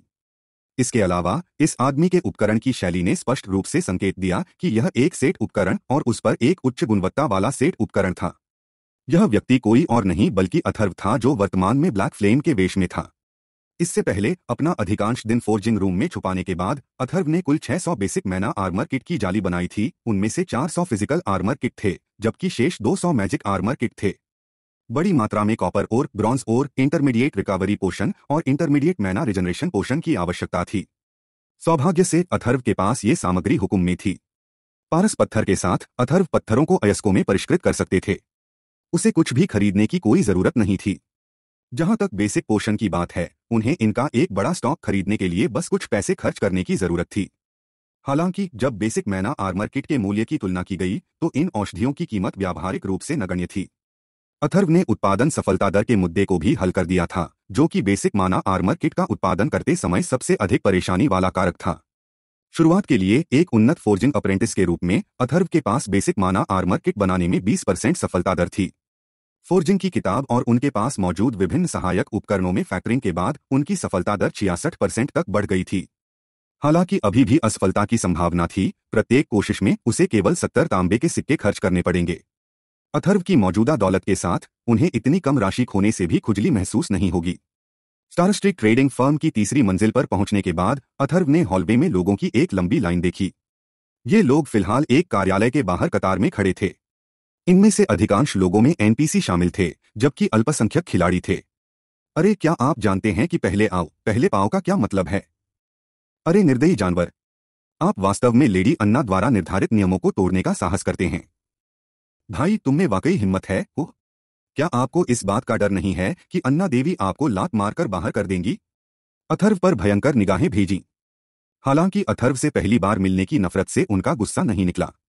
इसके बजाय, वे अथर्व की अशिष्टता से लेडी एना के कोप से डरते थे। वे लंबे समय से लेडी एना से मिलने का बड़ी बेसब्री से इंतज़ार कर रहे थे। अगर लेडी अन्ना ने उन सभी को गुस्से में भगा दिया तो यह एक त्रासदी होगी। तुम लोग किस लिए कतार लगा रहे हो? अथर्व ने उत्सुकता से पूछा। अथर्व ने हॉलवे में कतार में लगे लोगों को लापरवाही से देखा। एक मोटे अनुमान से, वहाँ 200 से अधिक लोग उपस्थित होने चाहिए, यह किसी भी तरह से छोटी संख्या नहीं थी। इसके अलावा, यह देखते हुए कि कैसे इन सभी लोगों ने प्रशंसा और सम्मान दोनों के साथ अन्ना को लेडी अन्ना या देवी अन्ना के रूप में संदर्भित किया। अथर्व आश्चर्यचकित हुए बिना नहीं रह सका। आप यह जाने बिना यहाँ आने की हिम्मत करते हैं, सभी ने तुरंत अथर्व पर अपनी आँखें मूंद ली। उन्होंने अथर्व को ऐसे देखा जैसे वो नोब हो, उनकी निगाहें तिरस्कार से भरी थीं। स्टारस्टेक ट्रेडिंग फर्म वर्तमान में बड़ी संख्या में फोर्जर्स और पोषण मेकर्स को काम पर रख रही है। अगर हम चुने जाते हैं और स्टार स्ट्रीक के लिए काम कर सकते हैं तो हम अकेले ही एक निजी वर्कशॉप का आनंद लेंगे। इसके अलावा ट्रेडिंग फर्म हमें सामग्री की अंथीन आपूर्ति प्रदान करेगी। यदि हम अच्छा प्रदर्शन करते हैं तो ट्रेडिंग फर्म हमें अपने स्वयं के निजी अनुसंधान कक्ष से भी पुरस्कृत करेगी और हमें अपने शोध को पूरा करने के लिए आवश्यक सभी सामग्री प्रदान करेगी। दूसरे शब्दों में, जब तक हम स्टार स्ट्रीक ट्रेडिंग फर्म के फोर्जर या पोषण मेकर बन सकते हैं, पैसा और शोहरत दोनों ही हमारे चयन के लिए उपलब्ध रहेंगे। इस बिंदु तक बोलते हुए, हर कोई मदद नहीं कर सकता था, लेकिन लगातार आहें भर रहा था। वे उन लोगों के प्रति बहुत ईर्ष्या महसूस करते थे, जो पहले से ही स्टार स्ट्रीक ट्रेडिंग फर्म के जालसाज और औषधि निर्माता बन चुके थे। हालाँकि जब एक महिला खिलाड़ी अपने चेहरे पर मायूसी लिए अचानक ऑफ़िस से निकली तो सभी का मूड तुरंत खराब हो गया। स्टार स्ट्रेक के अधिक से अधिक प्रसिद्ध होने के कारण एनपीसी और ट्रेडिंग फर्म में शामिल होने की इच्छा रखने वाले खिलाड़ियों की संख्या में भी विस्फोटक वृद्धि हुई थी। इसलिए परीक्षणों की कठिनाई भी बढ़ा दी गई थी। ट्रेडिंग फर्म की प्रारंभिक भर्ती जितना आसान नहीं रह गया था। कितने लगातार उन्मूलन पहले ही हो चुके हैं? मुझे लगता है कि यह सातवां होना चाहिए। परीक्षण अधिक से अधिक चुनौतीपूर्ण होता जा रहा है। पहले हर पाँच आवेदकों में से एक सफल होता था। अब आठ में से केवल एक ही सफल होता है। मुझे आश्चर्य है कि जब मेरी बारी होगी तो क्या संभावना होगी? पीछे कतार में लगे लोगों की बेचैनी बढ़ने लगी। अन्ना निश्चित रूप से सख्त हैं। अथर्व ने एक कड़वी मुस्कान दिखाई। हालाँकि इस तरह के सख्त चयन मानदंड होना कोई समस्या नहीं थी, फिर भी खिलाड़ी एनपीसी से मौलिक रूप से अलग थे। विशेष रूप से डरपोक और अंतर्मुखी खिलाड़ियों के लिए केवल एक परीक्षण से गुजरने के बाद उन्हें अस्वीकार करना थोड़ा अतिवादी था। क्रीन कोको, वह महिला खिलाड़ी जो हाल ही में अन्ना के कार्यालय से निकली थी, एक ऐसा ही उदाहरण थी। अतीत में, क्रीन कोको एक प्रतिभाशाली जालसाज था, जिसके पास स्टारमून किंगडम के दस महान मास्टर जालसाजों में से एक का खिताब था, और अथर्व इस जीवन में उसे अपने गिल्ड में भर्ती करने का पूरा इरादा रखते थे। उसने यह नहीं सोचा था कि क्रीन कोको के हत्यारे के गठबंधन को छोड़ने के तुरंत बाद वह तुरंत स्टार स्ट्रीक में आएगी, केवल एक बार फिर से खारिज कर दी जाएगी। सौभाग्य से, अथर्व ने स्टार स्ट्रीक ट्रेडिंग फर्म की यात्रा की थी। नहीं तो वह भी इसी तरह क्रूर तलवार से पछतावे के आँसू बहा रहा होता। हाँ। एक और असफलता। अब मुझे कहा जाना है? इस समय क्रीन कोको ने एक उदास अभिव्यक्ति पहन रखी थी। पहले, उसकी उत्पादन सफलता दर अत्यधिक कम होने के कारण उसे हत्यारे के गठबंधन से बाहर कर दिया गया था। अब स्टार स्ट्रीक ट्रेडिंग फर्म ने भी उसे रिजेक्ट कर दिया था। इन लगातार असफलताओं के बाद, वह अब नहीं जानती थी कि उसे कहा जाना चाहिए। क्या मैं वास्तव में फोर्जिंग के लिए कट आउट नहीं हूँ? शायद मुझे अन्य खिलाड़ियों की तरह साहसिक कार्य करना चाहिए और लड़ना चाहिए। हालाँकि मैं एक स्पोर्ट्स इडियट हूँ। मैं दूसरों की तरह कैसे लड़ने वाला हूँ? नमस्ते। क्या आप यहाँ स्टारस्ट्रेक ट्रेडिंग फर्म में नौकरी के लिए आवेदन करने आए हैं? अथर्व ने क्रीम कोको का रास्ता रोकते हुए पूछा। मम, क्रीम कोको ने सिर हिलाया और उसने अथर्व को देखा। फ़िलहाल उसका मूड बिल्कुल भी नहीं था कि किसी अजनबी पर कोई ध्यान दे। क्या आप एक और परीक्षा लेने में रुचि रखते हैं? अथर्व ने मुस्कुराते हुए पूछा। क्रीम कोको की आँखों में शौक चमक गया। तुरंत उसने अपना सिर उठा लिया और अथर्व पर ध्यान केंद्रित किया। एक पल के लिए उसने यह भी सोचा था कि अथर्व स्टार स्ट्रीक के कर्मियों में से एक था। हालाँकि जब वो अथर्व के कपड़ों पर स्टार स्ट्रेक ट्रेडिंग फर्म के प्रतीक को खोजने में विफल रही तो वो निराश हुए बिना नहीं रह सकी। हाँ हाँ हाँ। आपको क्या लगता है कि आप क्या हैं? स्टार स्ट्रेक के अध्यक्ष, क्या आप किसी ऐसे व्यक्ति को, जिसे पहले ही अस्वीकार कर दिया गया है, दोबारा परीक्षा देने दे सकते हैं? यदि आप ढोंग करना चाहते हैं तो कम से कम समय और स्थान के बारे में सोचें। देखें कि आप अभी कहाँ हैं। बहुत कम से कम आपको अपना अभिनय करने से पहले एक स्टारस्ट्रिक प्रतीक प्राप्त करना चाहिए, एक लंबे और सुंदर मौलवी ने उपहास किया, क्योंकि उसने अथर्व पर तिरस्कारपूर्ण नज़र डाली। हालाँकि अथर्व इस लड़की के उकसावे पर नाराज़ नहीं हुए। इसके बजाय, उन्होंने इस लंबी सुंदरता पर ऑब्जर्विंग आइज़ का इस्तेमाल किया। उदास मुस्कान स्तर दस पुरोहित। इस नाम को देखकर अथर्व हैरान रह गए। हालाँकि क्रीन कोको के रूप में प्रसिद्ध नहीं है। मिलानचोलिक स्माइल उससे पहले एक मौलवी की लंबी सुंदरता स्टारमून किंगडम के भविष्य के मास्टर फोर्जर्स में से एक थी। अथर्व ने वास्तव में नहीं सोचा था कि स्टार स्ट्रेक ट्रेडिंग फर्म इतनी आकर्षक हो सकती है कि भविष्य के दो मास्टर जालसाजों को लुभा सके। मेरा बुरा, मैं अपना परिचय देना भूल गया। मैं हूँ। जैसे ही अथर्व अपना परिचय देने वाले थे, एना अचानक कार्यालय से बाहर चली गई और उसने साक्षात्कारकर्ताओं के अगले बैच को बुलाया। हालाँकि जिस क्षण उसकी नज़र अथर्व पर पड़ी, वो हड़बड़ी में अथर्व के पास चली गई। अथर्व को देखते हुए बाकी सभी ने हास्यास्पद मुस्कान दिखाई। वे पूरी तरह से उस शो का आनंद लेने का इरादा रखते थे जो खेलने वाला था। आपने अब तक खुद को बहुत अपमानित किया है। अथर्व ने वास्तव में स्टार स्ट्रीक ट्रेडिंग फर्म के कर्मचारी होने का ढोंग किया। अब जबकि वह इस कृत्य में फंस गया है तो उसे निश्चित रूप से बाहर का रास्ता दिखाया जाएगा। महामहिम, यह अधीनस्थ इसके लिए अत्यंत खेदजनक है। मैंने नहीं सोचा था कि ये लोग आपको परेशान करेंगे। मैं उन्हें तुरंत दूर भेज दूँगा। एना ने क्रीम कोको और मेलानोलिक स्माइल को घूरते हुए अथर्व से माफ़ी मांगते हुए कहा। आह! अथर्व से बात करते सुना तो उनकी आँखें लगभग बाहर निकल आई थीं। उनके जबड़े लगभग फर्श से टकरा गए। उन्होंने उन उपहासपूर्ण शब्दों को निकल लिया जो उन्होंने तैयार किए थे, क्योंकि उनके चेहरे असाधारण रूप से पीला पड़ गए थे। इस दृश्य से क्रीन कोको भी वैसे ही चौंक गया था। हालाँकि उसने इस खबर को अपेक्षाकृत जल्दी स्वीकार कर लिया। यह बहुत बढ़िया है। मेरे पास एक और मौका है। अथर्व को देखते ही क्रीन कोको की निराश अभिव्यक्ति तुरंत उत्साह में बदल गई। अथर्व के प्रति लेडी अन्ना के विनम्र रवैये को देखकर यहाँ तक कि अथर्व को आपका महामहिम के रूप में संदर्भित करने के लिए क्रीन कोको को यकीन था कि अथर्व कोई साधारण चरित्र नहीं था चूँकि इतना महान चरित्र उसे एक और मौका देने को तैयार था, उसके भीतर आशा की लौ तुरंत प्रज्वलित हो गई। दूसरी ओर मेलांचोलिक स्माइल का वर्तमान मूड क्रीन कोको के बिल्कुल विपरीत था। इस समय उसने अथर्व को आश्चर्य से भरे चेहरे के साथ देखा। उसने फिर अपनी निगाहें सुंदर अन्ना की ओर घुमाई।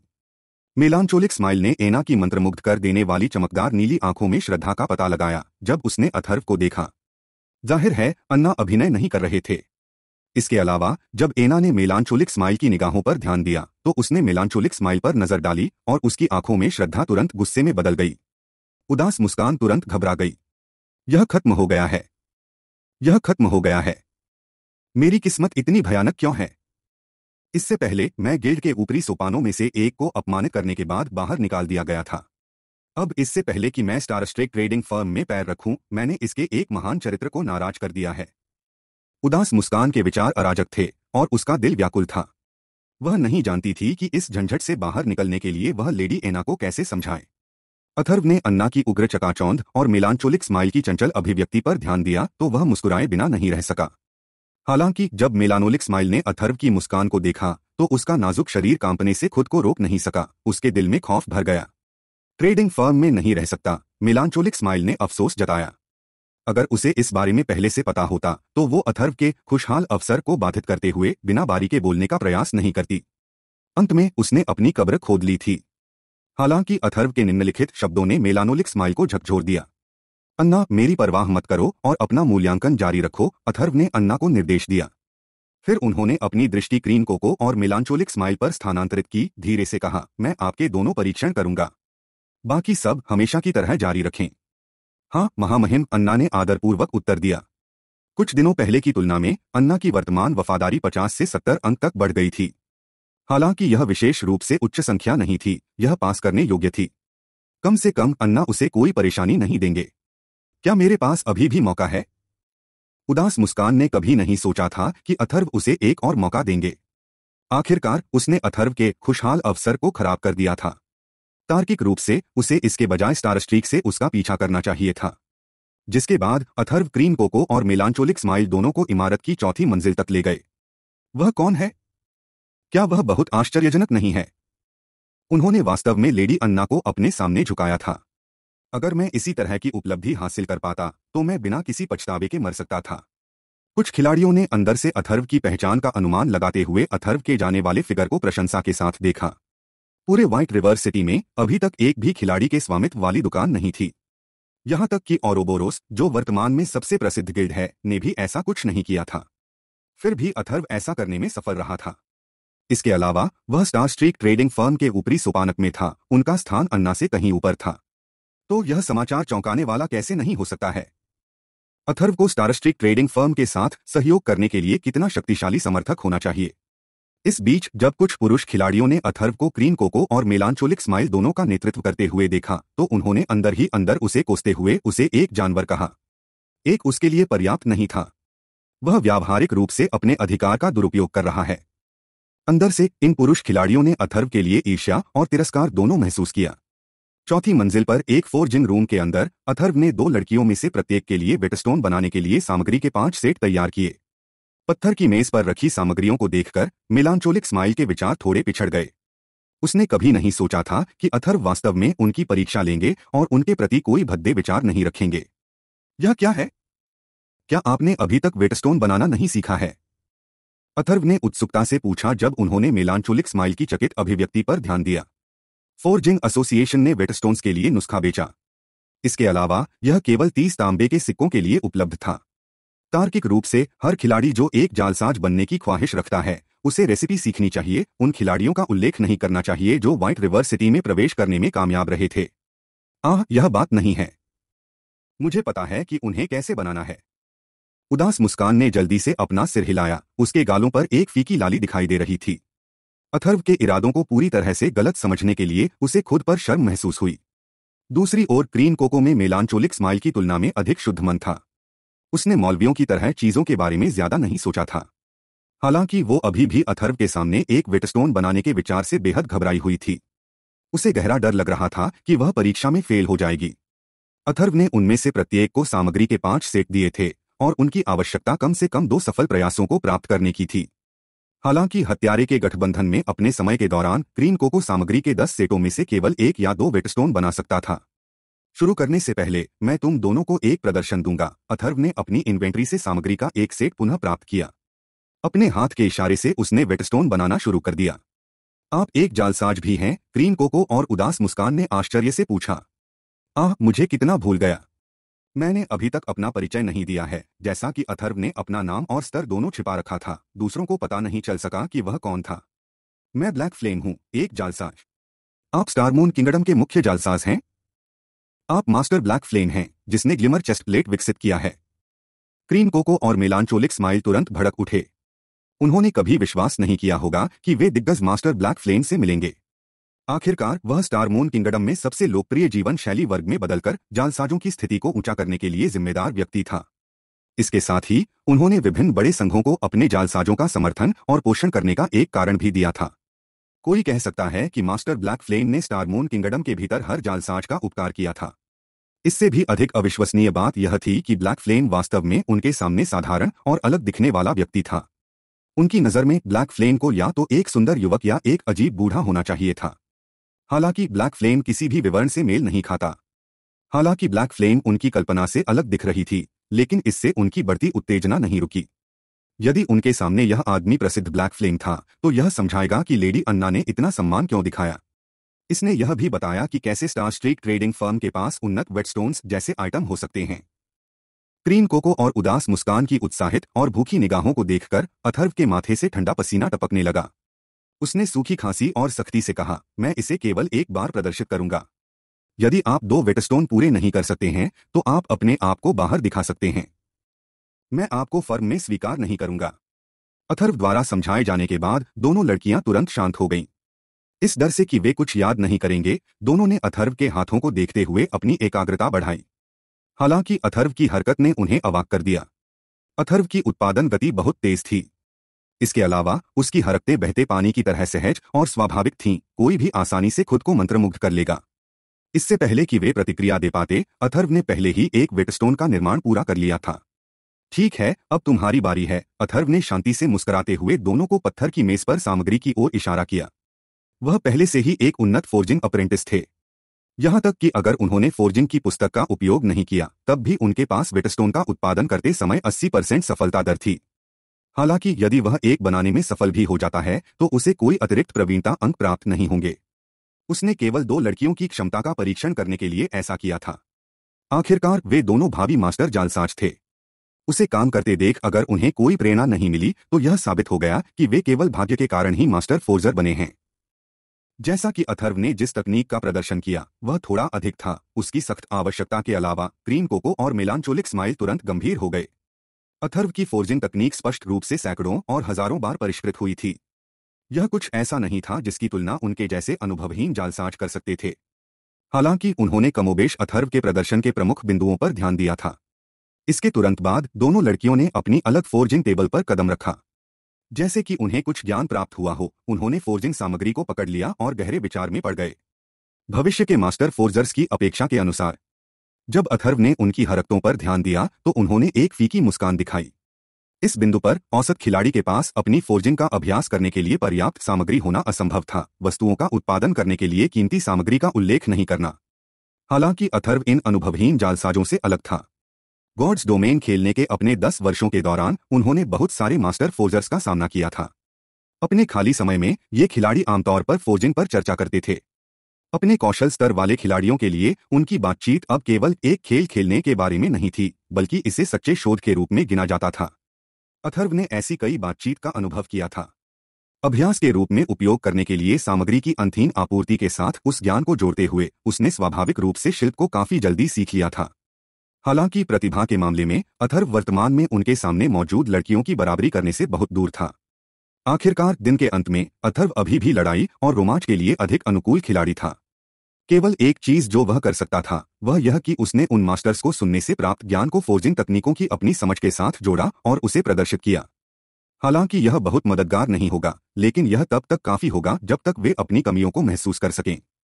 खेल के इस चरण में वेटस्टोन्स का उत्पादन करते समय अधिकांश खिलाड़ियों की अपेक्षाकृत उच्च सफलता दर थी।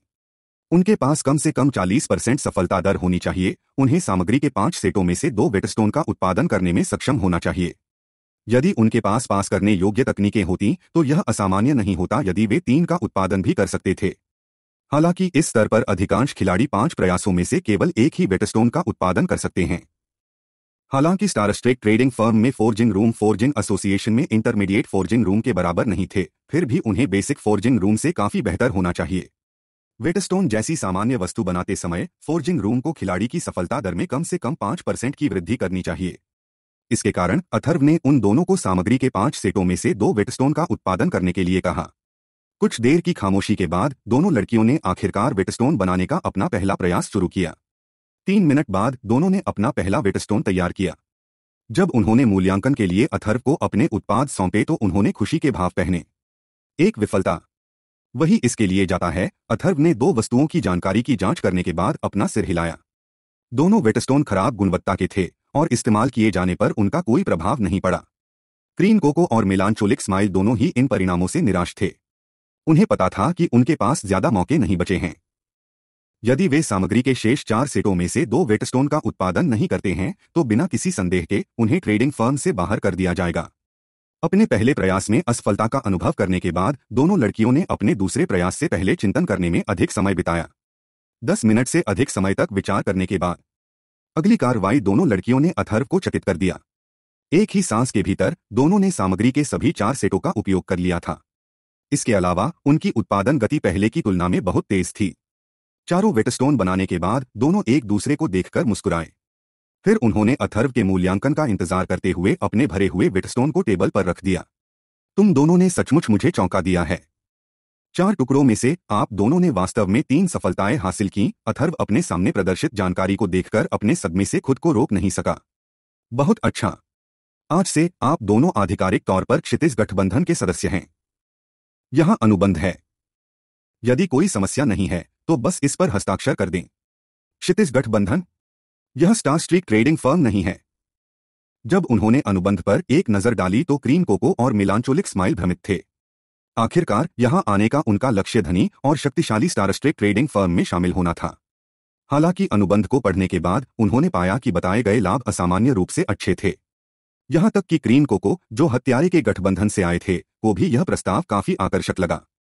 आखिरकार, न केवल उन्हें असीमित सामग्री और फोर्जिंग डिज़ाइन प्रदान किए जाएँगे, बल्कि आइटम बेचने के बाद उन्हें लाभ का पंद्रह परसेंट भी प्राप्त होगा। वे 2000 क्रेडिट का न्यूनतम मासिक वेतन भी अर्जित करेंगे। दूसरी ओर, अन्य गिल्डों ने केवल पाँच परसेंट लाभ और कम मासिक वेतन के साथ अपने जालसाजों को प्रदान किया। इन संघों द्वारा प्रदान की जाने वाली सामग्री भी बहुत सीमित थी। सामान्य परिस्थितियों में, जालसाजों को बेहतर तकनीक के साथ सर्वोत्तम सामग्री दी जाएगी, शेष जालसाजों को छोड़ दिया जाएगा। मैं यह नहीं बता सकता कि होराइजन एलायंस का स्टारस्ट्रीक ट्रेडिंग फर्म के साथ किस तरह का संबंध है। हालाँकि मैं आपको एक बात बता सकता हूँ द होराइजन एलायंस एक लाइफस्टाइल गिल्ड है। यह आपके सामान्य साहसिक और युद्ध गिल्ड की तरह नहीं है, और लाइफस्टाइल खिलाड़ी इस गिल्ड के मूल होंगे। इसके अलावा, भविष्य में horizon alliance starstreak trading firm की तुलना में अपने बाज़ार का और अधिक विस्तार करेगा। हम न केवल आठ शहरों में, बल्कि पूरे स्टारमून किंगडम के हर शहर में अपने उत्पाद बेचेंगे। इसके अलावा, आप लोगों को सामग्री के बारे में चिंता करने की ज़रूरत नहीं होगी। जब तक आप पर्याप्त गुणवत्ता की वस्तुओं का उत्पादन कर सकते हैं, तब तक आपको वस्तु को बेचने में असफल होने के बारे में चिंता करने की आवश्यकता नहीं होगी। अथर्व ने शांति से मुस्कुराते हुए कहा, बेशक, यदि आप नहीं चाहते हैं तो आप इसके बजाय स्टारस्ट्रीक ट्रेडिंग फर्म में शामिल होना चुन सकते हैं। यह सब आप पर निर्भर है। क्रीम कोको और मिलानचोलिक स्माइल ने उनके विकल्पों पर ध्यान से विचार किया। वर्तमान में, यदि वे खुद को और विकसित करना चाहते हैं तो स्टार स्ट्रेक ट्रेडिंग फर्म निर्विवाद रूप से बेहतर विकल्प थी। इसके अलावा, उन्होंने होराइजन एलायंस के बारे में कभी सुना भी नहीं था। लाइफस्टाइल खिलाड़ियों द्वारा चलाए जा रहे गिल्ड का तो कहना ही क्या? मैं क्षितिज गठबंधन में शामिल होने को तैयार हूँ, हालाँकि क्रीम कोको ने बिना किसी हिचकिचाहट के अनुबंध पर हस्ताक्षर किए।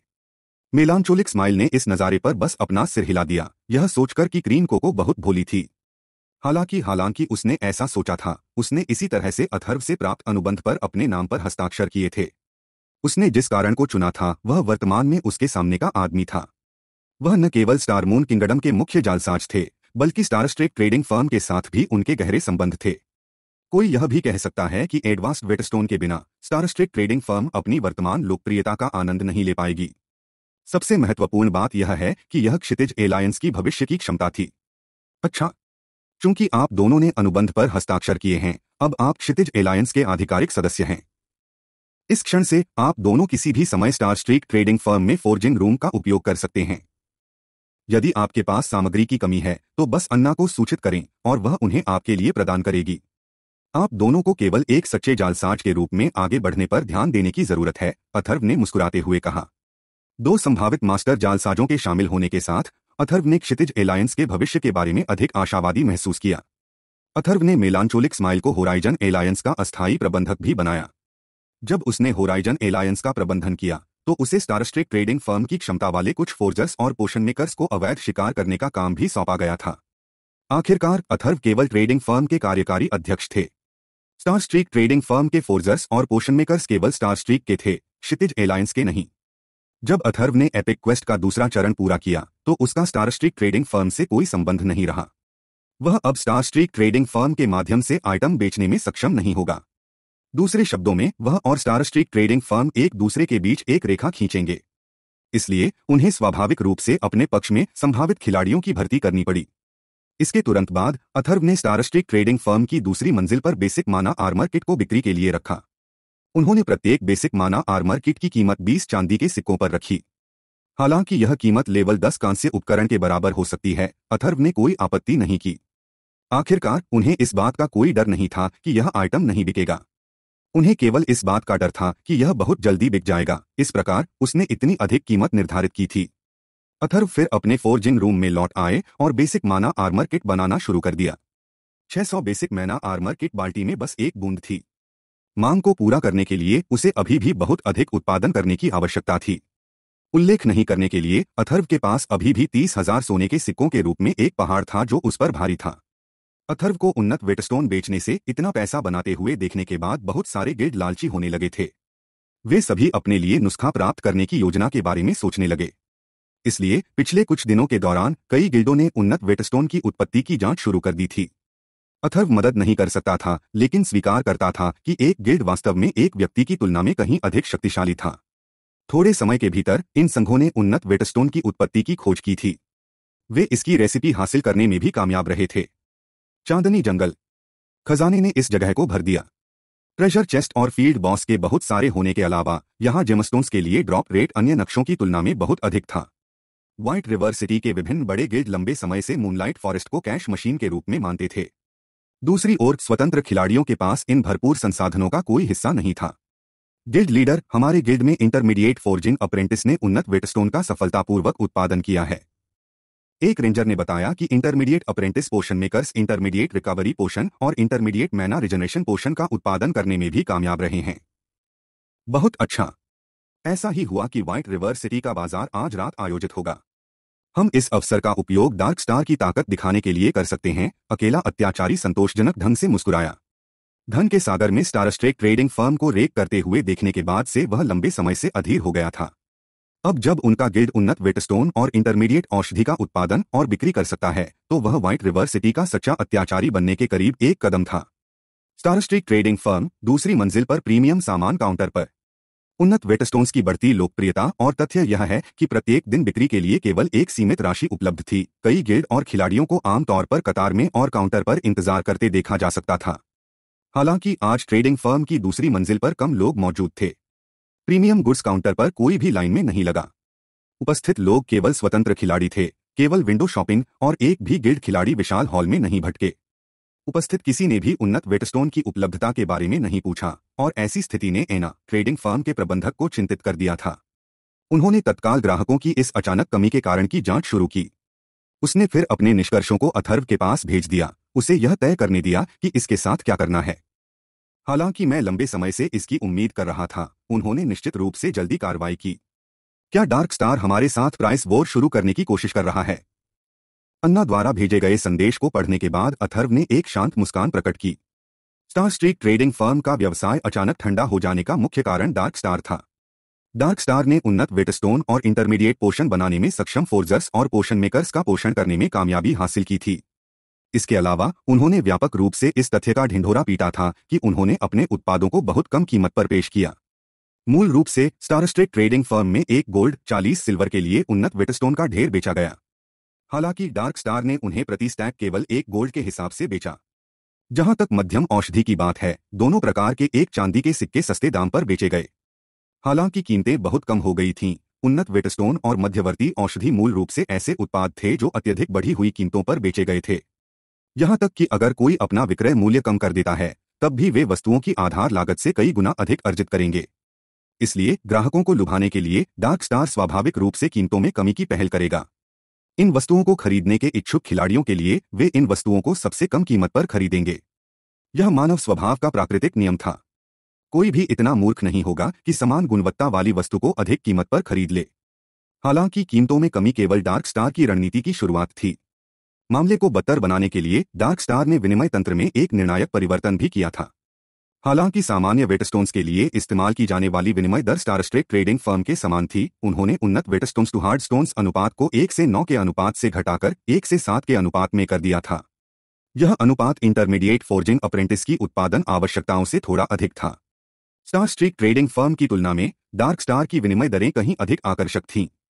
नतीजतन कई खिलाड़ियों ने अपने हार्ड स्टोन्स का व्यापार करने के लिए डार्क स्टार की ओर रुख किया। अब जब स्टारस्ट्रेक ट्रेडिंग फर्म ने हार्ड स्टोन्स के लिए अपनी आय का मुख्य स्रोत खो दिया था, भले ही वे हार्ड स्टोन्स पर भरोसा करते थे, जो अथर्व ने पहले जमा किए थे, वे जल्द या बाद में समाप्त हो जाएँगे। आवश्यक बुनियादी सामग्रियों के बिना वे कैसे कुछ भी उत्पादन करने वाले थे? इसके अलावा डार्क स्टार के पास भी एक फ़ायदा था जो अथर्व के पास नहीं था, उनके पास उन्नत वेटस्टोन का उत्पादन करने वाले अधिक लोग थे। जैसे जैसे अधिक समय बीतता गया डार्क स्टार छापे मारने वाले डंग से अधिक उन्नत वेटस्टोन व्यंजनों को प्राप्त करेगा। वे अपने गिल्ड में उन्नत वेटस्टोन बनाने में सक्षम लोगों की संख्या में अंथीन वृद्धि कर सकते थे। इस बीच स्टार स्ट्रीक ट्रेडिंग फर्म के पास केवल अथर्व था। हालाँकि अथर्व के पास वर्तमान में व्यंजनों के लिए निचले स्तर के कालकोठरी पर छापा मारने के लिए न तो जनशक्ति थी और न ही समय बर्बाद करने का। यदि यह स्थिति बनी रहती है तो डार्क स्टार अंतः स्टार स्ट्रीक ट्रेडिंग फर्म को पीछे छोड़ देगा। इसके तुरंत बाद अथर्व ने अन्ना को अपना फैसला सुनाया। चूँकि डार्क स्टार मूल्य युद्ध शुरू करना चाहता था इसलिए वह खुशी खुशी इसमें शामिल होगा। इसलिए उन्होंने डार्क स्टार के बराबर कीमतों और विनिमय दरों को समायोजित किया। हालाँकि यह परिवर्तन केवल व्हाइट रिवर सिटी में प्रभावी होगा, अन्य सात शहरों में कीमतें और विनिमय दरें समान रहेंगी। साथ ही, अथर्व ने बेसिक माना आर्मर किट को प्रकट करने का मौका भी लिया। अन्ना अपने काम में बहुत कुशल थी। अथर्व द्वारा उसे कार्य सौंपे जाने के कुछ समय बाद उसने उन सभी को पूरा कर लिया था। इसके अलावा, उसने विशेष रूप से बेसिक मैना आर्मर किट बेचने के लिए दूसरी मंजिल पर एक अतिरिक्त काउंटर भी जोड़ा था। आने वाले खिलाड़ियों ने जल्दी से नए जोड़ की खोज की। यहाँ नया काउंटर है। यह बेसिक माना आर्मर किट क्या है? क्या हम एक बार देख लेने के बाद नहीं जान पाएँगे? मूल रूप से, दूसरी मंजिल पर मौजूद विशिष्ट पार्टियों में से एक केवल भविष्य में उपयोग के लिए कुछ सामान्य वेटस्टोन खरीदने के इरादे से स्टारस्ट्रेक ट्रेडिंग फर्म में आया था। हालाँकि, जब उन्होंने नए काउंटर और एक नए उत्पाद की उपस्थिति पर ध्यान दिया तो उनमें उत्सुकता बढ़ गई और उन्होंने जाँच करने का फैसला किया। बकवास। यह पागल है। क्या यह वस्तु चांदी की बनी है? वे वास्तव में टूटे हुए कवच किट के लिए 20 चांदी के सिक्के चार्ज कर रहे हैं। मैं उस तरह के पैसे से लेवल 10 कांस्य उपकरण का एक टुकड़ा प्राप्त कर सकता हूँ। वे इस चीज़ की बिक्री को एक दिन में 50 पीस तक सीमित कर रहे हैं। यह बहुत महँगा है। भले ही हम एक कुलीन पार्टी हैं, एक काल कोठरी छापे से हमारी फ़सल सबसे अच्छी मात्रा में दो से तीन कांस्य उपकरण के बराबर होगी। इसके अलावा, न केवल हम अनुभव खोने का जोखिम उठाते हैं, बल्कि हमें छापे के बाद औषधि और मरम्मत पर पैसा खर्च करने की भी आवश्यकता होती है। एक आर्मर किट पहले से ही एक ही दिन में हमारी पार्टी की कुल फ़सल के बराबर है। एक मिनट रुकिए, इस आर्मर किट की विशेषताएँ इतनी अधिक क्यों हैं? हम प्रति चरित्र पर कुल तीन टुकड़े बाँध सकते हैं तीन टुकड़ों की कुल विशेषताएँ स्तर दस के रहस्यमय आयरन रैंक वाले ब्रेस्ट प्लेट से भी अधिक हैं। नज़र। प्रत्येक आर्मर किट को एक काली लॉ से चिन्हित किया जाता है। मुझे यह मत बताओ कि यह ब्लैक फ्लेम फोरगर द्वारा बनाई गई कोई चीज़ है। मूल रूप से टीम के सदस्यों ने स्टारस्ट्रेक ट्रेडिंग फर्म को उन्हें चीरने की कोशिश करने के लिए शाप दिया था। हालाँकि, जिस क्षण उन्होंने माना आर्मर किट और ब्लैक फ्लेम मार्क की विशेषताओं पर ध्यान दिया, वे अनैच्छिक रूप से थरथर काँप उठे। ब्लैक फ्लेम कौन था? वह ऐसा व्यक्ति था जिसे स्टारमून किंगडम का हर दिग्गज खिलाड़ी जानता था। हालाँकि इस बिंदु पर ग्लिमर चेस्ट प्लेट पुराना था। यह एक निर्विवाद तथ्य था कि आइटम ने एक बार पूरे स्टारमून किंगडम में खलबली मचा दी थी। इसके अलावा, इसकी वीरतापूर्ण उपस्थिति के कारण, कई खिलाड़ी अभी भी अपने ग्लिमर चेस्ट प्लेट्स पर बने हुए हैं। जिन लोगों ने ब्लैक फ्लेम मार्क धारण किया था, वे और भी भयानक लग रहे थे, और अनगिनत संग्राहकों ने इनमें से किसी एक टुकड़े को रखने की कामना की। दुर्भाग्य से, इस तरह के चहने टुकड़े बहुत दुर्लभ थे। और अभी प्रत्येक टुकड़ा पहले से ही काले बाज़ार में पचास चांदी के सिक्कों के लायक था। फिर भी इतनी भारी कीमत पर भी कोई भी स्वेच्छा से अपना सामान नहीं बेचेगा। अब ब्लैक फ्लेम ने खुद को फिर से प्रकट कर दिया था। वह ऐसे शक्तिशाली मन कवच किट भी बेच रहा था। यह उस कहावत की तरह था जिसने स्टार मून किंगडम को परिचालित किया था। ब्लैक फ्लेम द्वारा उत्पादित कुछ भी निश्चित रूप से एक प्रीमियम उत्पाद होगा। अभी हमारे पास कितना पैसा है? संभ्रांत दल के नेता ने धीरे से बोलते हुए अचानक पार्टी चैट में पूछा। भाई किन, हमारे पास मुश्किल से तैंतालीस चांदी के सिक्के हैं, अगर हम सभी छह एक साथ अपना पैसा जमा करते हैं। हम अपने उपकरणों की मरम्मत और कुछ औषधि खरीदने के लिए बहुत कठिनाई के बाद ही इसे इकट्ठा करने में कामयाब रहे हैं। आप यह नहीं सोच सकते। हम सामान्य वेटस्टोन के लिए एकत्र किए गए कठोर पत्थरों के एक हिस्से का व्यापार करें, फिर बाकी को बेच दें। इसके अलावा, हमारे द्वारा पहले प्राप्त किए गए सभी रत्नों को बेच दें। इससे पहले कि कोई इस आर्मर किट का पता लगाए हमें जितना हो सके उतना आर्मर किट खरीदने की ज़रूरत है। जब तक हम अपने एमटी और हीलर को इनमें से तीन मन आर्मर किट से लैस कर सकते हैं, तब तक हम नॉर्मल मॉड पार्टी डंग को आसानी से साफ़ कर सकते हैं। इसके अलावा, जब तक स्टार स्ट्रीक इन मना आर्मोर किट्स की बिक्री बंद कर देता है, तब तक हम अपने एक्स्ट्रा को उच्च कीमत पर फिर से बेच सकते हैं। हमने जितना खर्च किया है, उसमें से अधिकांश को वापस पाने में हमें सक्षम होना चाहिए। जब पार्टी के अन्य सदस्यों को अपने पार्टी नेता के शब्दों के पीछे के तर्क का एहसास हुआ तो उन्होंने तुरंत अपने पैसे जमा करना शुरू कर दिया और अपनी सभी खर्चीली वस्तुओं को जितना हो सके उतना बेसिक मन आर्मर किट खरीदने के लिए बेच दिया। यदि उनके एमटी और मरहम लगाने वाले दोनों के पास मिस्टीरियस आयरन उपकरण का एक अतिरिक्त टुकड़ा हो सकता है तो वे कालकोठरी पर छापा मारने पर होने वाली मौतों की संख्या को बहुत कम कर सकते हैं। अतिरिक्त 240 रक्षा और 12 धीरज के साथ, उनकी एमटी की ताकत अगले स्तर तक बढ़ जाएगी। उनका एमटी बॉस राक्षसों को बहुत अधिक आसानी से टैंक कर सकता है। उल्लेख नहीं करने के लिए उनके मरहम लगाने वाले को भी अपग्रेड प्राप्त होगा। इसके तुरंत बाद, कुलीन पार्टी के एमटी और मरहम लगाने वाले प्रत्येक ने तीन बेसिक मैना आर्मर किट को अपने उपकरणों से बाँध दिया। पार्टी ने भविष्य में उपयोग के लिए एक अतिरिक्त टुकड़ा भी खरीदा। मैना आर्मर किट के बारे में पता लगाया था। कई अन्य संभ्रांत पार्टियों और स्वतंत्र खिलाड़ियों ने जो स्टारस्ट्रेक ट्रेडिंग फर्म में भटक गए थे आर्मर किट की खोज के बाद गुप्त रूप से अपनी संपत्ति बेच दी थी। कुछ खिलाड़ी जो वास्तव में धनी थे, यहाँ तक कि आर्मर किट खरीदने के लिए उच्च कीमत पर सिक्के खरीदने तक चले गए। नतीजतन पचास बेसिक माना आर्मर किट चुपचाप स्टारस्ट्रेक ट्रेडिंग फर्म से गायब हो गए। रात के दौरान, जब चाँद चमकीला था और तारे कम थे तो कई खिलाड़ी पब में आराम करने और गपशप करने आते थे। ओल्ड किन, आज आपकी पार्टी इतनी खुश क्यों है? तुम लोगों ने पीने के लिए इतनी महँगी शराब भी खरीद ली। मुझे मत बताओ, आज तुम्हारा जन्मदिन है। एक अन्य कुलीन दल के एक दल के नेता ने पूछा। हमारी तीन सिर वाली भेड़ियों की पार्टी आज बहुत खुश है। यहाँ, मैं आपके नाइन हेडेड बर्ड्स पार्टी को आइस ब्लू स्पिरिट की इस बोतल से ट्रीट करूँगा। क्या तुम लोगों ने इसे अमीर बना दिया? आप इतने उदार क्यों हो रहे हैं? यह एक उच्च गुणवत्ता वाली शराब है, जिसकी कीमत तीन चांदी के सिक्के हैं। बेशक आज हमारी पार्टी पहली बार एक हार्ड मॉड पार्टी कालकोठरी को साफ़ करने में कामयाब रही। हम उस काल कोठरी के छापे से अपने एमपी के लिए मिस्टीरियस आयरन इक्विपमेंट का एक टुकड़ा प्राप्त करने में भी कामयाब रहे। कल हम एक और हार्ड मॉड पार्टी काल कोठरी पर छापा मारने की योजना बना रहे हैं। बार के अंदर के अन्य खिलाड़ी तुरंत चौंक गए, जब उन्होंने सुना कि किसी ने हार्ड मॉड पार्टी डंग को साफ़ करने में कामयाबी हासिल की है। उन सभी ने किन नाम के खिलाड़ी को ईर्ष्या भरी निगाहों से देखा। पूरे व्हाइट रिवर सिटी में, एक हार्ड मॉड पार्टी कालकोठरी को साफ़ करने में कामयाब होने वाली स्वतंत्र पार्टियों की संख्या को एक के हाथों में गिना जा सकता है। बूढ़े किन शेखी बघारना बंद करो। क्या आपको लगता है कि मैं आपकी पार्टी की ताकत के बारे में नहीं जानता? हार्ड मॉड का उल्लेख नहीं करने के लिए, आप लोगों को अभी भी एक सामान्य मॉड पार्टी काल कोठरी को साफ़ करने के लिए जीवन और मृत्यु से संघर्ष करना होगा। नॉनहेडेड बर्ड्स पार्टी के नेता को विश्वास नहीं हुआ। हाँ हाँ हाँ। यदि यह अतीत में होता तो निश्चित रूप से यह असंभव होता। हालाँकि हमारी पार्टी के एमपी के पास अभी एक हज़ार से अधिक डिफेंस और एक हज़ार छह सौ एचपी हैं किन ने खुशी से शेखी बधारी। इस जानकारी से नाइन हेडेड बर्ड्स पार्टी के नेता को बहुत धक्का लगा। आखिरकार, वह और दूसरी पार्टी के नेता एक दूसरे को लंबे समय से जानते थे, इसलिए वह किन को ऊपर से नीचे तक जानता था। पहले थ्री हेडेड वुल्व्स एमपी इतना शक्तिशाली नहीं था, वह नाइन हेडेड बर्ड्स एमपी से भी छोटे अंतर से कमज़ोर था। कुछ जाँच पड़ताल के बाद नाइन हेडेड बर्ड्स ने 20 सिल्वर कॉइन्स खर्च कर उस रहस्य को प्राप्त किया, जिसका इस्तेमाल तीन सिर वाले भेड़ियों ने एक हार्ड मॉड पार्टी डंगन को साफ़ करने के लिए किया था। थ्री हेडेड वॉल्व्स की सफलता का मुख्य कारण बेसिक मैना आर्मर किट का योगदान था। दिन के दौरान थ्री हेडेड वुल्व्स उन पार्टियों में से एक थे, जिन्होंने गुप्त रूप से स्टारस्ट्रेक ट्रेडिंग फर्म से बेसिक मैना आर्मर किट खरीदे थे।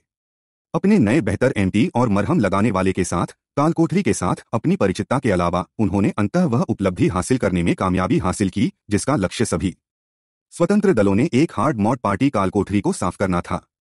खिलाड़ियों को एक दूसरे के साथ व्यापार करने की अनुमति देने के लिए व्हाइट रिवर सिटी के रात्रि बाज़ार का आयोजन किया गया था। डार्क स्टार के लगातार विज्ञापन के कारण आज बाज़ार में चहल पहल बढ़ गई थी। डार्क स्टार से उन्नत वेटस्टोन खरीदने के लिए कई संघों ने बड़ी मात्रा में हार्ड स्टोन और सिक्के एकत्र किए थे। खिलाड़ियों ने पूरे प्लाजा में स्टॉल लगाने में खुद को व्यस्त कर लिया, जहाँ बाज़ार होगा। जैसा कि नीलामी घर की सेवाओं का उपयोग करने के लिए किसी को भारी प्रसंस्करण शुल्क का भुगतान करना पड़ता था। कई खिलाड़ियों ने इसके बजाय आज अपनी संचित लूट को बेचने का विकल्प चुना था। इस बीच, इस प्लाजा में स्थापित कई स्टॉलों में सबसे अधिक ध्यान आकर्षित करने वाला डार्क स्टार का था, क्योंकि वर्तमान में डार्क स्टार के स्टॉल के सामने कई सौ खिलाड़ी खड़े थे। यह देखकर अकेला अत्याचारी का हृदय खुशी से झूम उठा।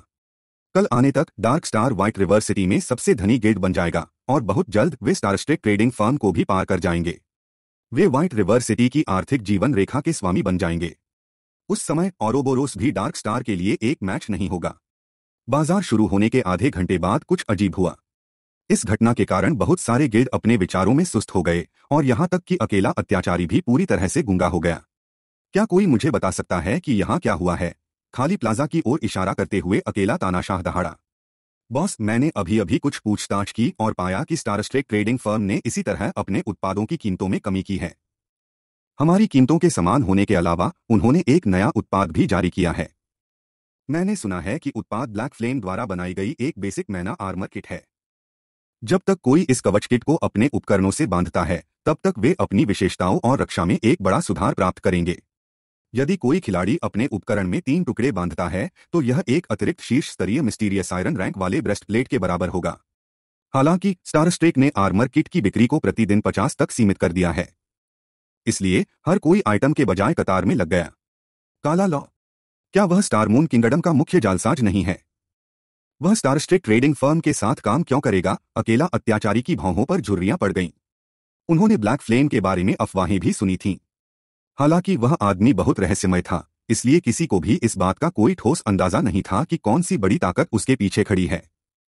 जनता केवल यह जानती थी कि ब्लैक फ्लेम का समर्थन करने वाली एक गहरी छिपी हुई प्रमुख शक्ति थी। तो क्या हुआ अगर वह मुख्य जालसाज है? अकेला अत्याचारी ने उपहास किया, चूँकि ब्लैक फ्लेम इतनी अच्छी वस्तु बना सकता है, हमें केवल इसे भी बनाने की ज़रूरत है। बेसिक मन आर्मर किट की तुरंत जाँच करें, पता लगाएँ कि हम फोर्जिंग डिज़ाइन कहाँ से प्राप्त कर सकते हैं। मैं वास्तव में ब्लैक फ्लेम को धन्यवाद देना चाहता हूँ कि उसने हमें यह शानदार व्यावसायिक अवसर दिया। Boss is the best. मैं इसकी तुरंत जाँच करूँगा। इस बीच स्टार स्ट्रीट ट्रेडिंग फर्म में पहले से ही इमारत के बाहर लोगों की कतार लगी हुई थी। कठोर पत्थरों का एक ढेर कम कीमत पर बेचना। अगर आप रुचि रखते हैं तो यहाँ आए। तीस चांदी के सिक्कों के लिए स्तर दस कांस्य कुल्हाड़ी। चांदी के सिक्के ऊँची कीमत पर खरीदना। तुम्हारे पास जितना है, मैं ले लूँगा। अनजाने में स्टार स्ट्रीट ट्रेडिंग फर्म के बाहर एक बाज़ार बन गया था।